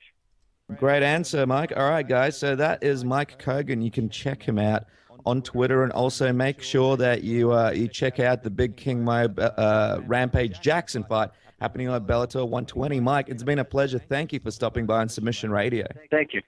Mm, Thank you. So there you have it, guys. The one and only Mike Kogan talking about his client Nate Diaz and some of his other friends. Yeah, that's right. You know, it's uh, it's good that Mike came on the show, and obviously he had some different opinions to a lot of other people, and that's why Submission Radio is around. You know, we love having managers, fighters come on and talk about how they feel. You know, we're a show; it's very, very open to people sharing their opinion, and um, we appreciate Mike's time for coming on and clarifying the situation. But our next guest, John Hackleman, you know, he had a, a pretty tough weekend over UFC 172. Yeah, he did. Obviously, you know, he's he's big fighter, Glover Teixeira. You know, he he didn't quite get that title. He came up a little bit short against Jon Jones. Still fought valiantly. Still showed a lot of heart. And uh, we want to get a breakdown uh, from him on what exactly went wrong in that fight. You know, obviously, obviously, uh, Glover would have come in with with a good game plan and very confident. So I think it's time to get John on the show. Uh, I think it's time for our next guest. Our next guest on Submission Radio is a world renowned coach. He has coached to guys like Glover Teixeira, Chuck Liddell, Steven Saller, and a whole lot more. He's one of the most interesting personalities in MMA. John Hackleman, welcome back to Submission Radio. Yeah, thanks for having me. Oh, you know, uh, John, you know, it's a pleasure having you on. Getting right into it, right off the bat, um, you know, it's been a couple of weeks since UFC 172 where Glover tri- uh, fought Jon Jones for the light heavyweight title. Um, things didn't really quite go as planned. Uh, how's Glo- Glover doing, and how are the injuries going from the fight? Uh, it's good. He's waiting. Uh, to decide on a, a doctor. Um, he's got to have surgery. So um, kind of threw the whole plan off in the first round when he got, uh, you know, he got the shoulder crank and he tore. He actually tore his labrum, labrum in the first round.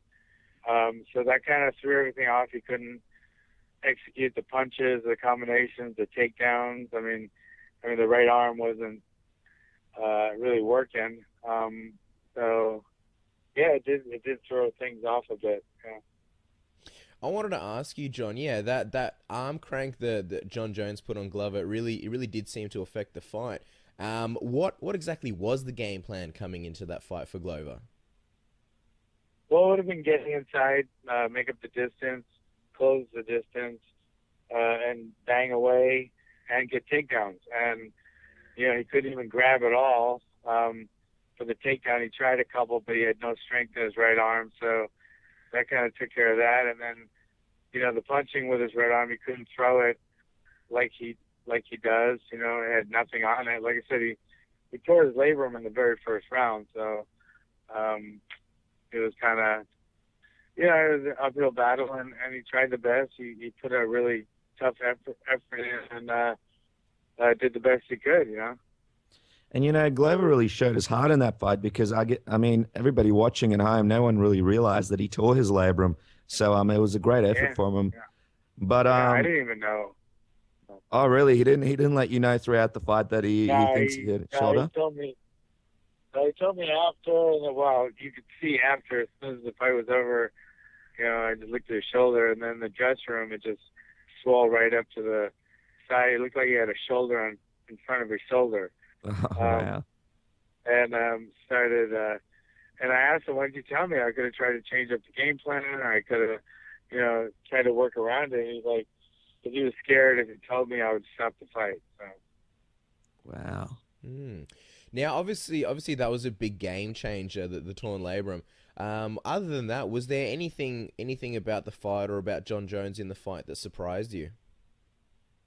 Mm, Well, it did them Uh, the way the the way he was willing to, you know, get inside and get in the pocket with Glover. But I mean, it, you know, I mean, I didn't I didn't know at the time why Glover wasn't, you know, taking full advantage of it. Now I do, and so I mean that that kind of surprised us that there was so much inside work by John. Which I mean, not to take anything away from him.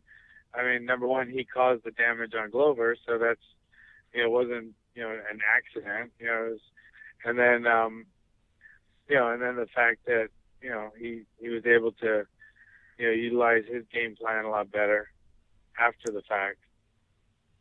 Now, uh, John, things like the shoulder crank. What are your thoughts on moves like that? Obviously, Jon Jones has a lot of interesting moves like that. He's got the kick to the knee, um, the shou- that shoulder crank that he did in Glover. Do you think?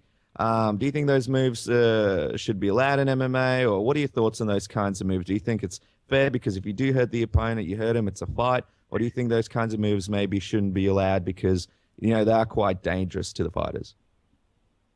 No, I mean, I think it's picking and choosing what's what's legal and what's not. A little sometimes randomly and sometimes without any real rhyme or reason. Um, know, I, think they are. I mean, they they're legal. I mean, they sh- they should be. But then other, you know, if you're gonna if you're gonna legalize, you know, linear kicks that could hurt the knee, you know, then I mean, why can't you do, you know, small joint manipulation? Why can't you do uh, you can't even grab the fence, but you can, you know, crank someone's shoulder, which is legal and it's fine. Then why can't you, you know, I don't know, why can't you do a 12 to 6 elbow? I mean, so it's like, it's, I'm sure they're doing the best they can. They do a great job, but um, there are some inconsistencies. But, but like I said, there's going to be because it's the nature of the beast, and it's it's still the best show in town and the best rules but some kind of don't make as much sense as others, you know. I think, yeah, I think the rules in a lot of ways are still playing catch up.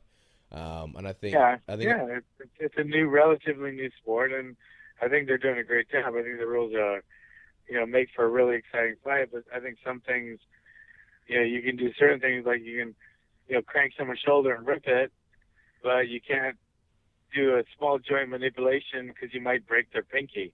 But Mhm. breaking the shoulder, ripping the shoulders, okay, and then you can hit him in the head as hard as you want and cause uh, subdural hematoma, you know. But you can't heel kick to the kidneys. I mean, there's like I said, some things make absolutely no sense, and but still, it's the best game in town, you know. Well, that, that, that's why we all love it. And uh, you know, Glover, he didn't he didn't quite get that belt, but he's still an amazing fighter. What do you think are some of the positives coming out of this fight? Well, I mean, I think the main positive because people already know how hard he hits. They've seen it. Um, they've seen his one punch knockout power. They've seen his unbelievable power in submissions and skill in submissions. They've seen his really good wrestling. I mean, took down Rampage, you know, six or seven times. I mean, so they've seen all. If they've seen his conditioning. They've seen him go. Now they've seen him, you know, go five, but they've seen him go three rounds, really strong. So they know his conditioning. But now the X factor has been exposed, um, and that you know he's tasked with flying colors. I mean, does he have a chin? Obviously, he has a great chin. And does he have the heart? I uh, most certainly does. I mean, this this answer that question because he, he answered him with flying colors. So I think it's it's it's raised his stock because not only does he have all the things that they knew, but now that X factor isn't isn't a surprise anymore or a question mark. It's a it's a def, it's a exclamation point.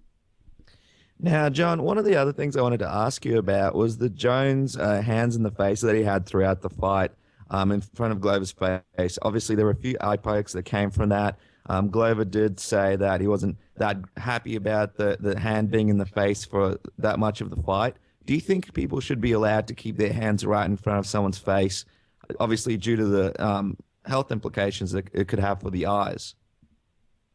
I mean, I, yeah, I think you should be able to if you can do it, you know, without poking the eyes. I think, I think if you're going to do it, uh, it should be really closely monitored. And you know, if you go in, you know, go near the, the eyes or you know, hurt, the, you know, go go in the eye, you get a warning, and then boom.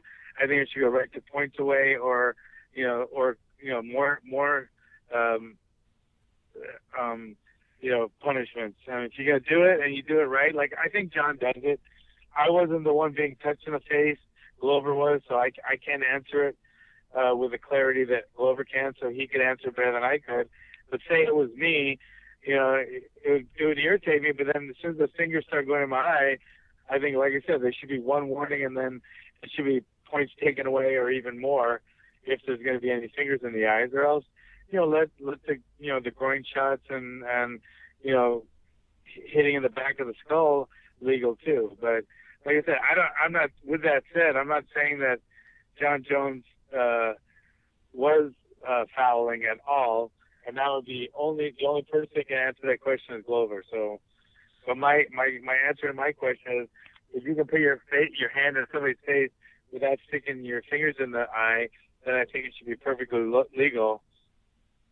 That's that's my answer to that. Now, uh, makes sense. Now, obviously, Glover's you know going to continue fighting in the light heavyweight division, and I'm assuming he'd like that you know rematch against Jon Jones. After a loss, a lot of people th- often throw around the term "back to the drawing board." Now, as far as lessons uh, go, moving on from this fight, do you think there's something that uh, specifically that you need to or want to work on with Glover for the next next time or next rematch, or do you think it more just comes down to different game plan?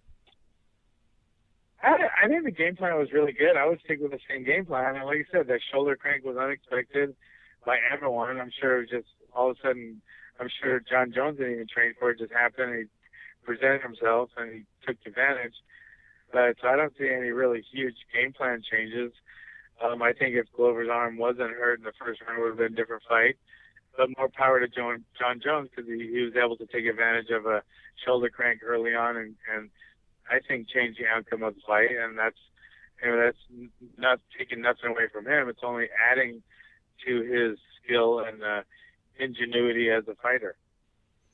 Now, speaking of uh, things that John worked on, we actually had Mike Winkeljohn on the show last week, and he told us that a lot of Jones Jones's unorthodox techniques are based on kenpo. Um, now that you've seen some of the effectiveness of the techniques that Jones uses, obviously you have a huge uh, kenpo background yourself. Um, do you think you'll be employing some of the some of those similar effective techniques with your fighters in the future?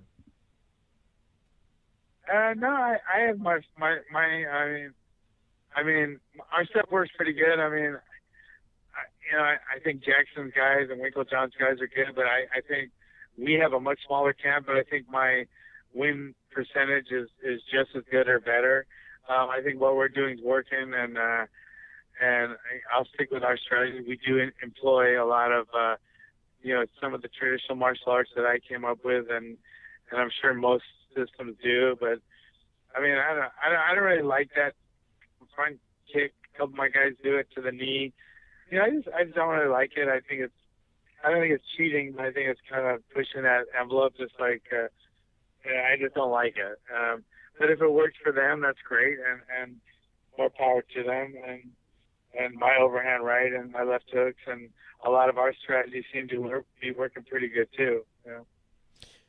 So, so just to clarify, you don't like that kick, kick to the knee because obviously it, it's quite a dangerous move to do to fighters. Obviously, Rampage, um, you know, had to have knee surgery after that kick, so you think it's just a high risk move to do, right? Is that yeah, right, John? I mean, it is, but then again, I mean, I mean, it's, it's not as high risk as you know hitting someone in the head really hard and giving him a freaking stroke. So, you know, I'd rather have to have knee surgery than a freaking, you know, I'm, than have my you know head head cut open and have brain surgery. So, I mean, it, it's dangerous, but that's a dangerous sport. And somebody cranks your shoulder, you got to have shoulder surgery. Somebody cranks your knee, you got to have knee surgery. But, you know, I, you know, it's dangerous, but it's a, it comes with the sport. I don't, I don't think it should be disallowed because it might hurt someone's knee. Just like I don't think punching to the head should be disallowed because it might cause brain damage.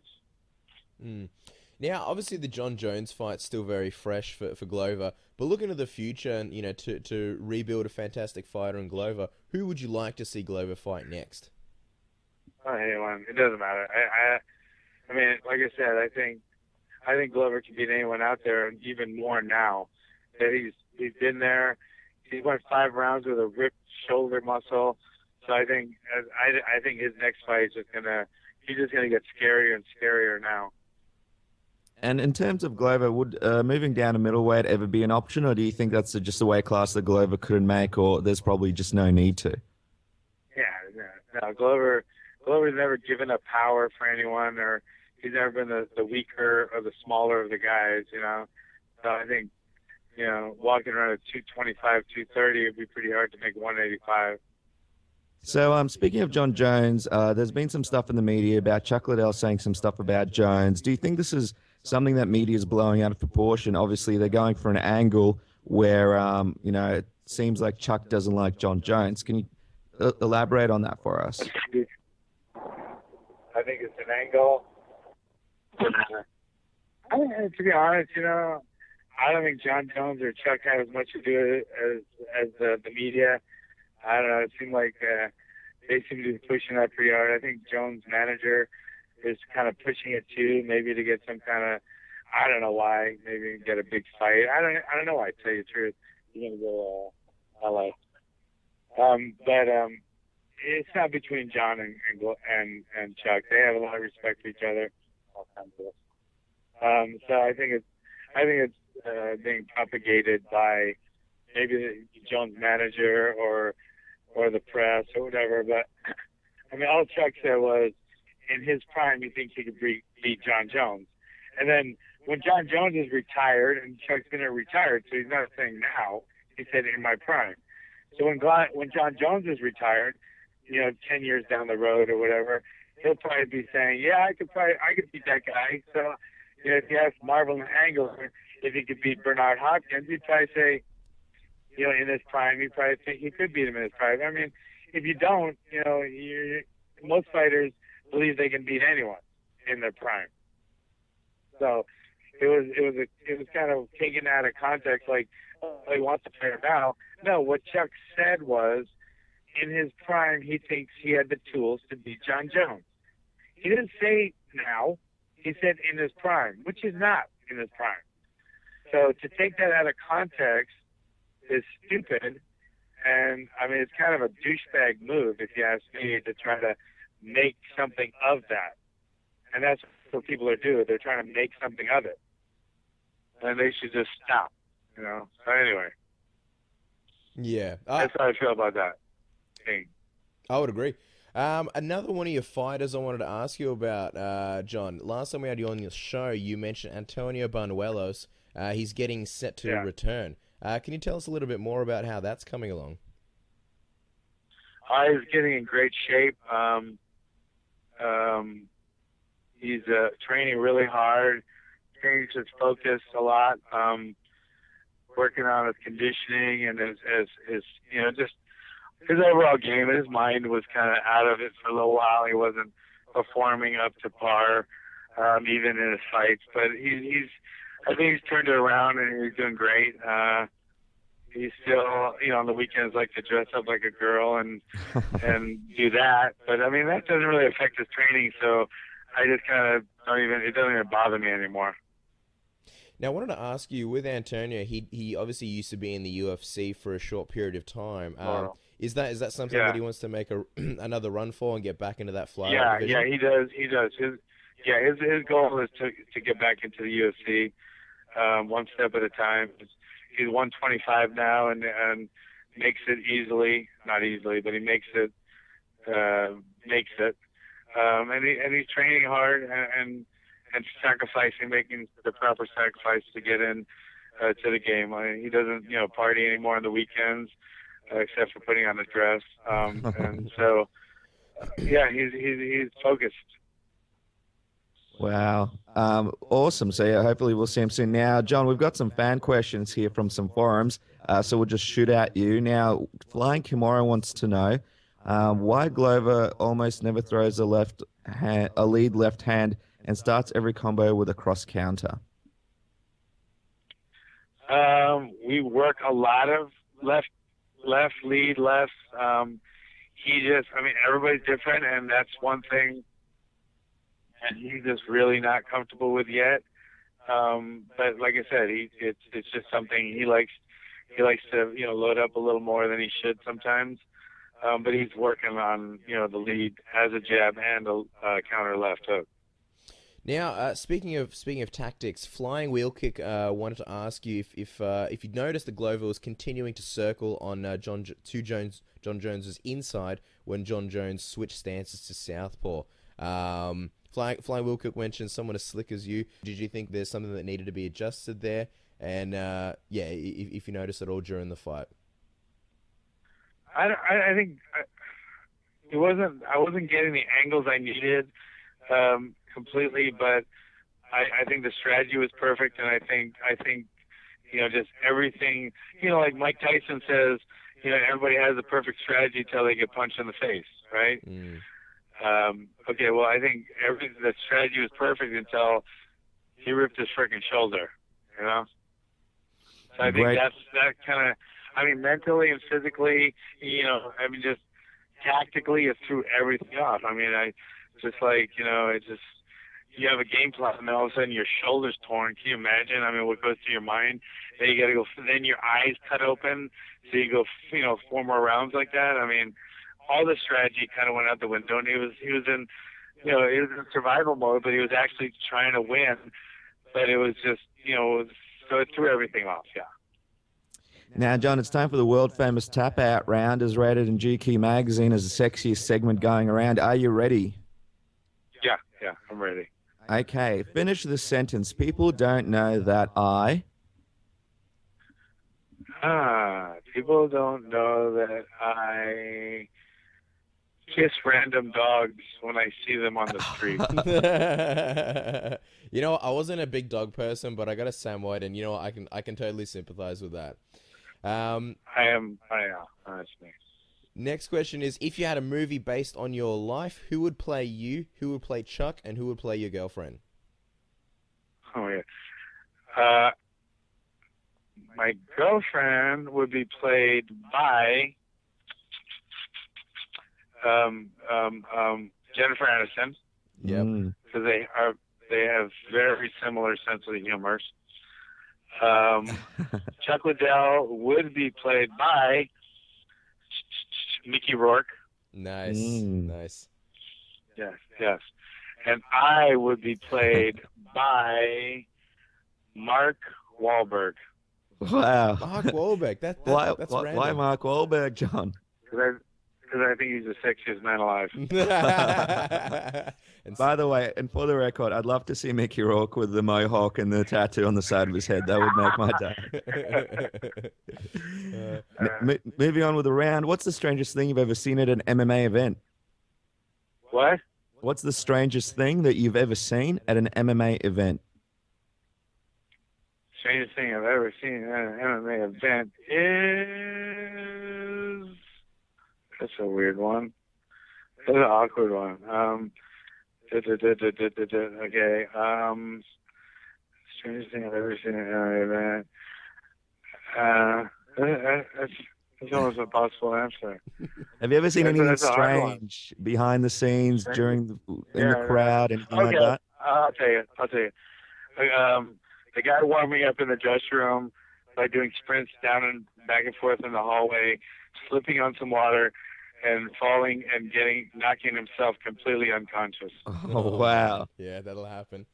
Um, do you and Chuck Liddell ever have movie nights? And if you do, what is your favorite flick? Our favorite flick, and we can't get the name of it, is um, the movie. It's an old kung fu movie, and the, our favorite line is the guy gets out of bed with some woman and he says, "Get up, get dressed, make the bed, and get out." and we can't remember the name of it. But back back in the old days, uh, Chuck and I used to watch that movie all the time on VHS. Wow. What a champion Um, of a man, too. Yeah, but okay, but our favorite movie that is actually out is uh, Shallow Hal. Mm, Shallow Hal's awesome. Now, owning a mixed martial arts school, do you think that unqualified teachers are a problem in MMA and martial arts today? Uh, um, no, I, I, I actually think most gyms are run by really qualified guys. Some sometimes, uh, sometimes, uh, yeah, sometimes overqualified actually. Okay. Now, you're known as a striking coach, but how much grappling do you do? Uh, enough to get my guys where about half of my guys, uh, you know, win by grappling, and uh, probably like 60% win by striking, 40% by grappling. My guys are pretty good. I know it. I know enough of it to, you know, avoid a takedown, get a takedown, you know, get a submission, avoid a submit, submission, go for position, uh, sweep a position or escape. But I just don't like it. I like, I love. Uh, the striking part. I love that part. I don't like grappling, but I know it enough to to be a you know a, a world. Well, I'm not, I'm not being conceited. A world class coach. Of course. Now, um, what's the weirdest Halloween costume you've ever worn?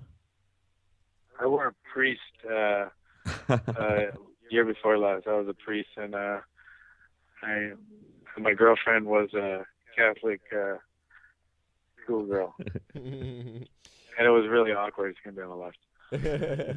um, now, obviously, John, you've been training fighters for, for quite a while. You've trained a lot of tough guys. Are you still invested in combat sports as you were 10 years ago? Or is MMA something that you think about less th- these days? Uh, it's 120. Um,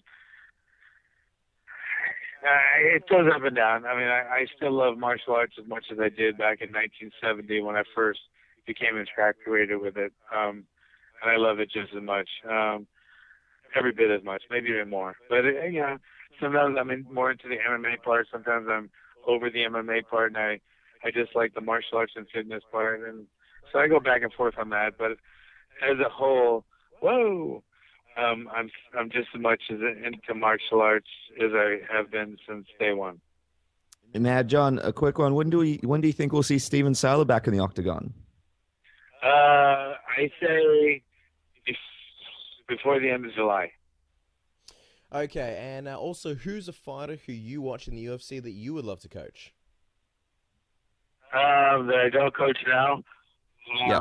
My favorite fighter that I'm not coaching uh, would probably be um, um, uh, yeah, um, the Lau Aldo that that group. That's a wily group right there. I think that would be amazing if you guys work together in the future. Guys, he is John Hackleman. Thank you so much for coming onto the show. You can catch him at pit underscore master and check out his school is at http forward slash thepitmma.com. John, this is the second time you've been on our show, so now you're a part of the Submission Radio family. I don't know if you realize that, but it's always a I feel like and I feel like it. Thank you very Well, much. it's always a pleasure having you on, and we look forward to having you on in the future. And yeah, all the best to Glover, and thank you so much for coming on. All right. Well, thank you, and uh, I appreciate the call. Thank you very much. Bye. John Hackleman, guys, always a pleasure chatting to that guy. You know, he's so wise. He's been around the fight game for so long, managed fighters, um, and it's just always great to get his insights on the MMA game and just anything MMA. Yeah, that's right. So thanks for John for coming on. And, you know, now he's a part of the Submission Radio family, reoccurring appearances, and always a pleasure to speak to on the show. Our next guest, however, is also from a very uh, awesome team, Team Alpha Male. You know, we love having these guys on. And um, obviously, TJ Dillashaw is going to be having his big title shot against Renan Barão at UFC 173. However, this man who's coming up next, Chad Mendes, will be having a title shot against Jose Aldo, trying to get that title. Uh, obviously, had one shot before, but uh, didn't really wasn't really able to pull it out. So I'm um, very interested to see what this man has to say about it. And I think we have him on the backbone cast. All right, guys. Our next guest owns wins over Cub Swanson, Erik Koch, Clay Guida, and recently over Nik Lentz. And he's looking to become the new featherweight champion against Jose Aldo at UFC 176 on August 2nd. He is none other than Chad Money Mendes. Chad, welcome to the show. Hey, thanks for having me, guys. Oh, thank you so much for coming on. Um, we'll just get right into it. We haven't seen you since your December win over Nik Lentz. Uh, did you have a feeling you were going to be next to fight Jose Aldo, and have you been training already for this fight? Yeah, I mean that was definitely something that uh, you know we were hoping for right after that fight. Actually, it was something I was hoping for the last uh, two fights, but uh, just didn't work out that way. And um, you know, they were the UFC was telling us that it's a good possibility that after the Lentz fight, that's who I was going to be fighting. So, um, you know, just training. Uh, obviously, not training camp style training, but just um, you know, maintaining, keeping up, learning some new stuff with Duane Ludwig, and um, you know, I finally got the the call not too long ago that that's that's who it was going to be, and uh, basically we were just waiting on the location and uh, the date. We didn't know an exact date or location, but finally just got it, and uh, UFC just posted about it. So now we're here talking about it. yeah, it's all official. So congratulations, Chad. Now, um, I was gonna say, you just mentioned Ludwig. Obviously, he's sticking around for the TJ Dillashaw Championship match. Any chance he'll stick around a little bit longer uh, to help you prepare for this one? Yeah, he'll be here for the first first part of my camp. Uh, then he's moving to Denver, but um, you know we've talked, and there's still going to be some some training going back and forth. Whether he comes out back to Sacramento or we go to um, Colorado to do some training there. And I mean, that'd be great for us because it's altitude anyway. So, um, yeah, we're definitely still going to be doing some stuff with Duane. Uh, in the meantime, we're still looking for that head coach. So, um, we just had Martin Kampmann out, um, did some basically some trial practices, and he just kind of ran us through some stuff, and uh, we're just kind of testing it out and seeing if we like it. And um, I think we're going to try and bring in a couple other guys and just see see uh, what fits best for Team Alpha Male out here in Sacramento. And, hopefully we get that locked up soon. Ah, awesome. Yeah, we uh, we actually did send in our uh, striking coach applications to Team Alpha Male. Uh, we haven't heard anything back, and now we're here. You know, Martin Kampmann's in the fold. Can't can't say that we're not hurt, Chad, but you know that that's okay. Um, what what was it like uh, having Martin in there? How how was he as a fit, and what what did he bring to Team Alpha Male? Yeah, I, I like Martin. I've met Martin uh, a while back, a couple of fights. I think we've actually fought on a couple cards. I'm pretty sure. At least he was there um, in the back. So um, he's a cool guy. Actually get along with him great. His style's, um, you know, he's really good at a lot of the basic stuff, um, which I think is is key for becoming, you know, a, a great athlete. You know, you, you see a lot of these wrestlers that are um, the top level that the reason why they're there is because they're so good at all the basics. So it's something I've always tried to focus on throughout my entire career as an athlete, and uh, you know, I think that'd be great for our team. So, like I said, we're just kind of trying it out and uh, seeing how the the the coaches kind of fit in, uh, not only just technique wise, but also personality and kind of just getting along with the team and kind of meshing well. You know, it's basically you know family out here. And, you know, to have somebody that's kind of a more of an outcast that doesn't really fit in, it's you know, it's not something we're really looking for. So we're just trying to find that one that one guy, and hopefully we get him soon.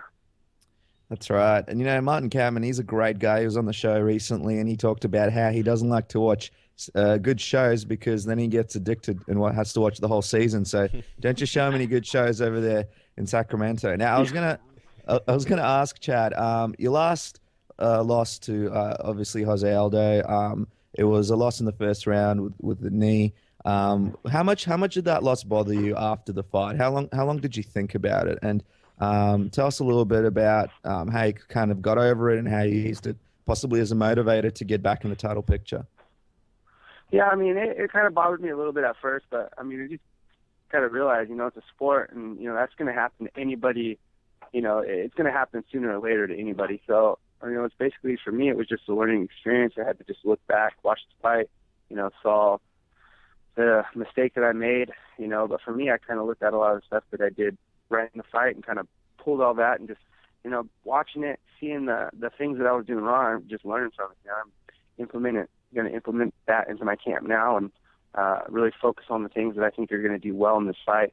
You know, for me, it's I think the more part that, bugged me the most was just knowing that there was one second left. You know, and you know being in that position where I had his back and went to take him down and he grabbed the cage. Mm-hmm. Uh, you know, that one second could have been changed by that grab. You know, and uh, the ref didn't really stop it, didn't say anything, didn't take a point. Um, you know, and am I saying that would you know made me win the fight? No, I, I have no idea, but um, I think you know things would have been a lot different. Would have made it out of the first, and you know for me, and you know my camp looking at Aldo, he stayed throughout the fight, and so for me it was uh, the goal was to keep the pace high the first, second, third rounds and push him into those later rounds to get that fight slowed and uh, you know come away with that W. So you know that, I think that's the thing that bothered me the most, but like I said, understanding the sport, you know, it's part of it. Um, you know, for me, I just kind of use it as a learning experience. Obviously, since then, Aldo's gone on to face Frankie Edgar, Korean Zombie, and Ricardo Lamas. Uh, seeing as that he's already had those three title fights, what were your biggest takeaways from those fights? Um, for me, it's just I feel like Aldo's getting less and less aggressive in every fight.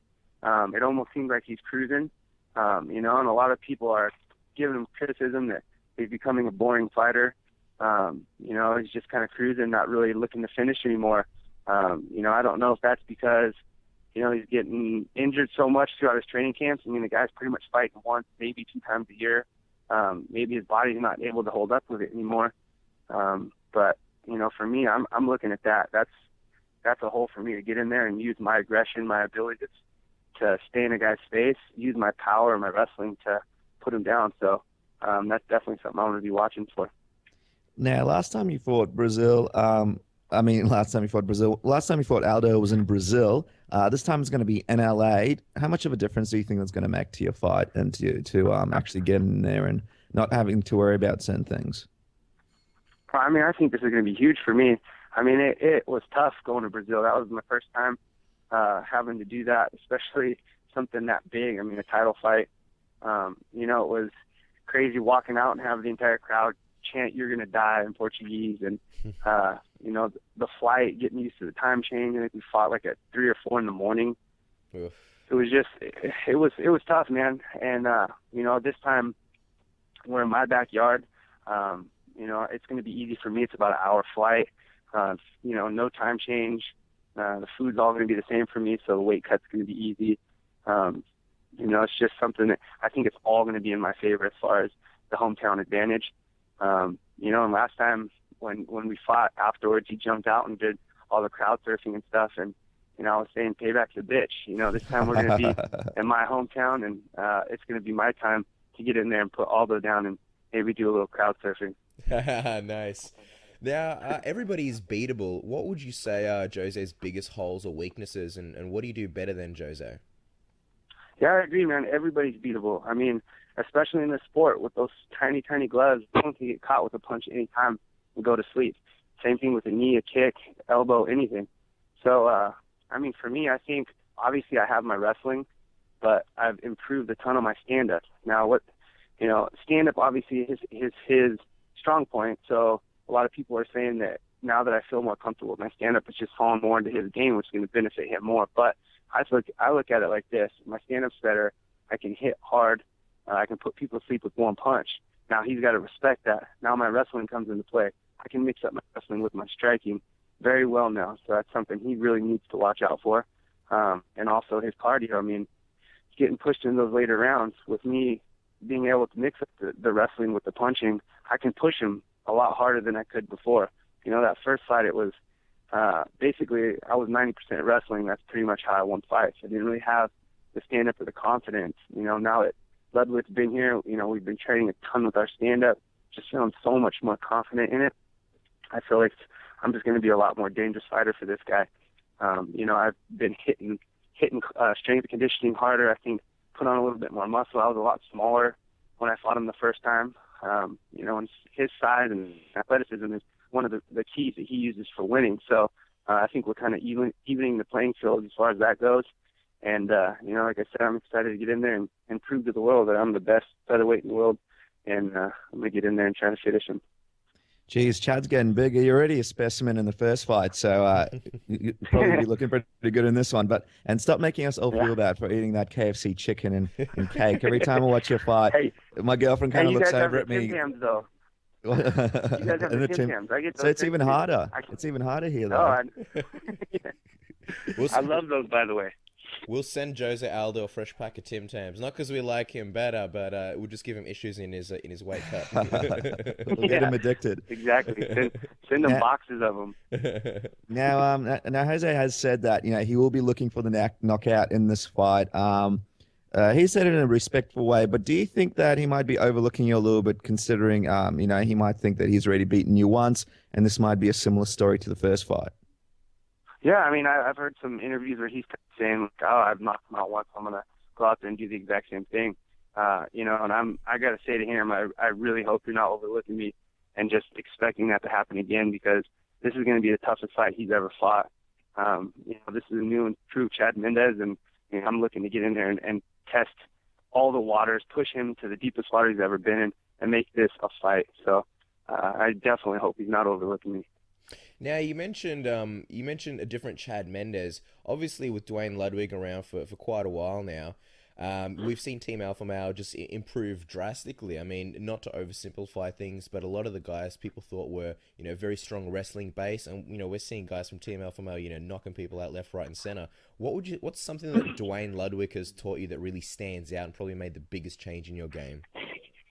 you know, for him, it was, uh, you know, before we didn't really have a head coach. First of all, you know, Master Tom was the guy that would just hold mitts for us and stuff, but couldn't really speak English. So, you know, honestly, we didn't have a head coach. So I think that in itself is one of the main things, you know, uh, that's kind of helped the entire team.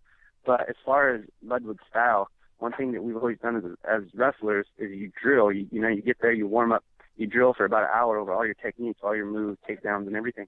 Where we never did that before. So, um, you know, Duane's having us do a ton of Holland drills. We're basically drilling, drilling, and drilling all of the combinations, uh, slowing things down, and, and really seeing openings. You know, he'll he'll give you a combo and and say, all right, there's you know these are the three things you need to look out for. You know, hitting this combo, and this, these are different openings that if you throw this combo, they react, you can hit it. So uh, there's just a lot of that type of stuff where he's really breaking things down. And I think for us that was, you know, huge in everybody's game because we never did any of that. So I think uh, that alone has really improved everybody's striking on the team, and uh, I think you guys could could pretty much see it in the fight. So um, I think that's probably most important. Uh, now, Chad, uh, you've had some interesting comments about Conor McGregor. Obviously, he robs a lot of people the wrong way. Um, yeah.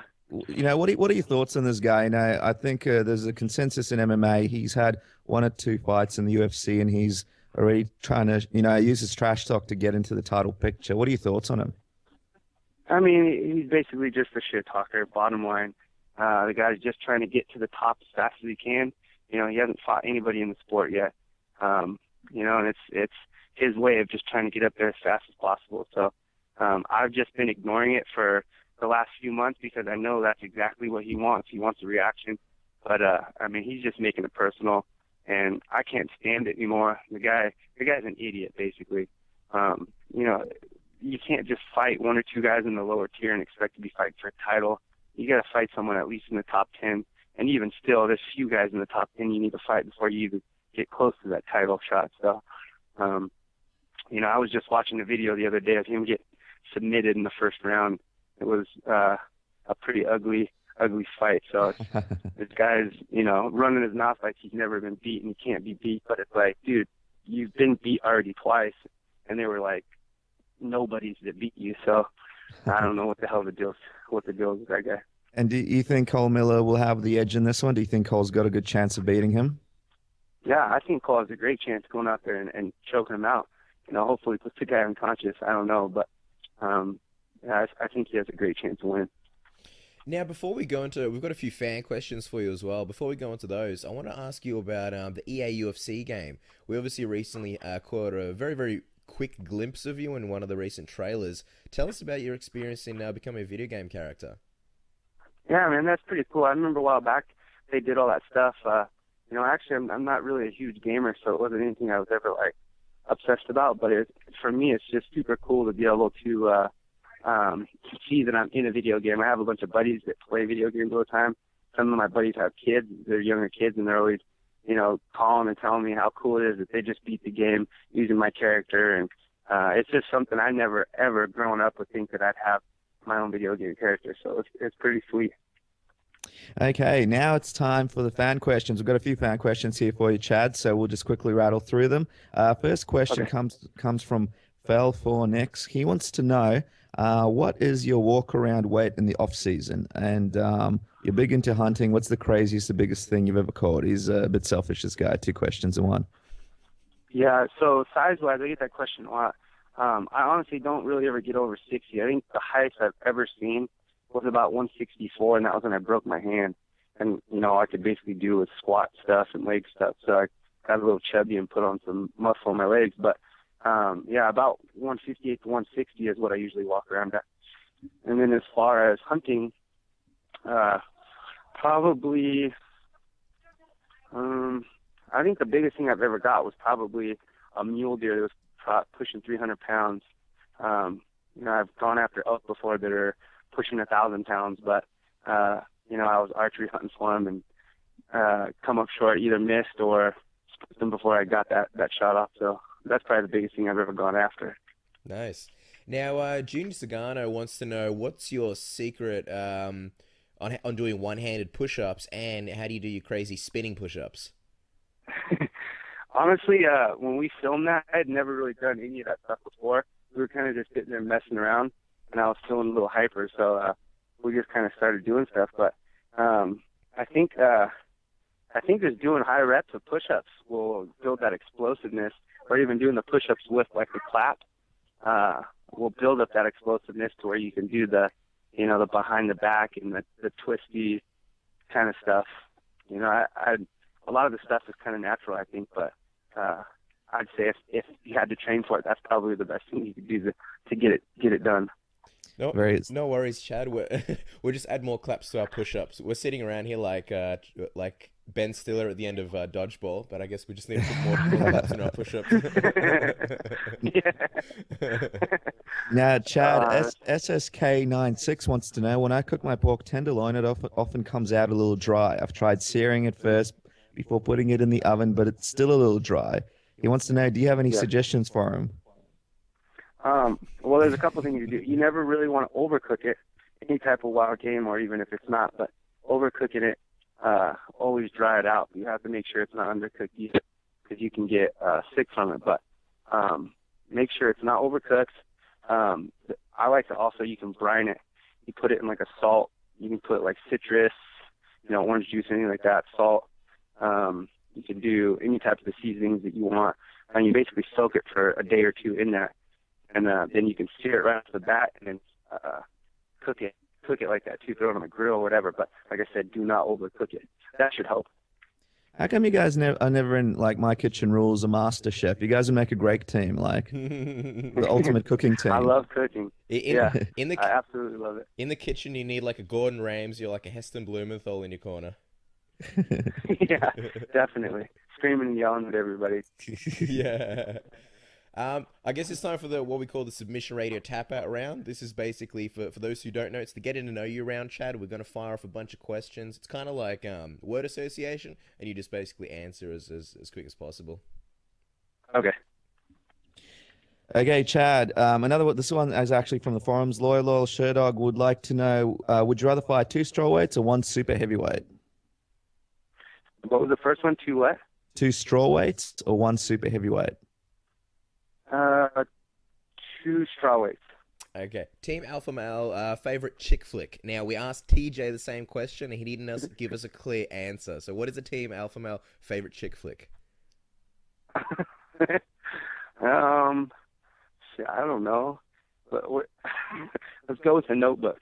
Ah, the notebook. Come on, Chad. Um, if you're an international spy looking, this is an important one. So listen up to this one. If you're an international spy looking to break out of the evil Russian power plant, do you take the front door and shoot your way out, or do you do a sneaky escape out the back door, hiding behind various pillars and plants?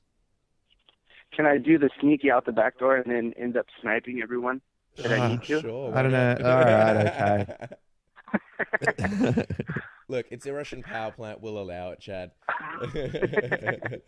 All right, good. now, who's the best at karaoke at Team Alpha Male, and what's their song? Um, I'd say it's Danny probably, and uh, it's a it's a Thai song, and I don't know the name of it. Master Tong used to, used to sing it all the time. Uh, it's about a, I think it's called Motorcycle. wow. You'll Wow. have yeah, you'll have to ask him about it. He'll actually sing it for you too. He's pretty good. Well, we're going to have to get him on the next show. Speaking of Danny, how amazing was it to see him get that KO recently? Oh, that was awesome, man. I, that, was, that was a cool one to see. Danny, he works so hard, so getting to see him do that is it means a lot. Uh, next question is Who's the most annoying person in the UFC? The most annoying, Conor McGregor. and um, moving on with the tap out round. Uh, thus far, what has been a, a career highlight for you? Career highlight, probably knocking out Clay Guida. That, that was definitely a big win. Uh, growing up and watching MMA, who was your idol or someone that you looked up to?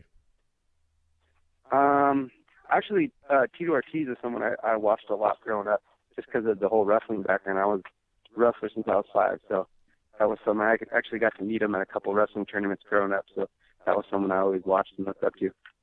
Chad, important question. We always wanted to know what are your thoughts on mustaches? What are my thoughts on them? Yep.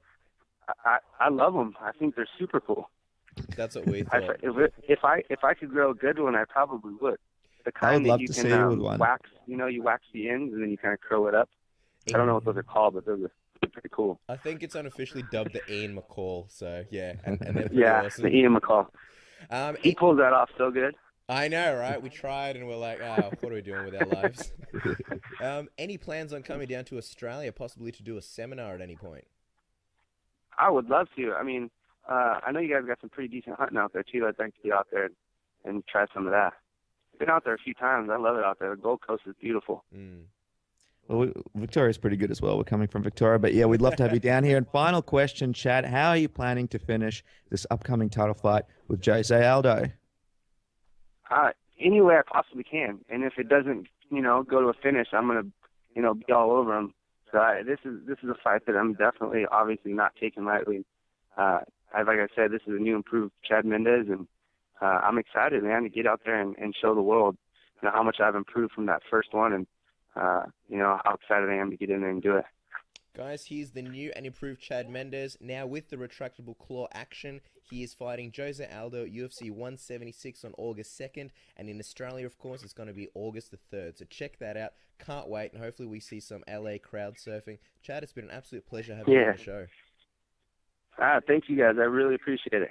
Boom. So there you have it, guys. Chad Money Mendes. Pump for the big Aldo fight. Another big show. We got Chad Mendes, Hackleman, John Dodson, and Mike Kogan. It's time for us to say goodbye. It's another episode of Submission Radio. That's right, guys. But before we go, remember you can tune into us on Stitcher, TuneIn, and iTunes. And don't forget about our Twitter at Submission AUS. We love to hear your questions for our guests. So keep an ear to the ground and find out who is coming up next week. Also, next week, Cass, we've got a big thing coming out about EA UFC.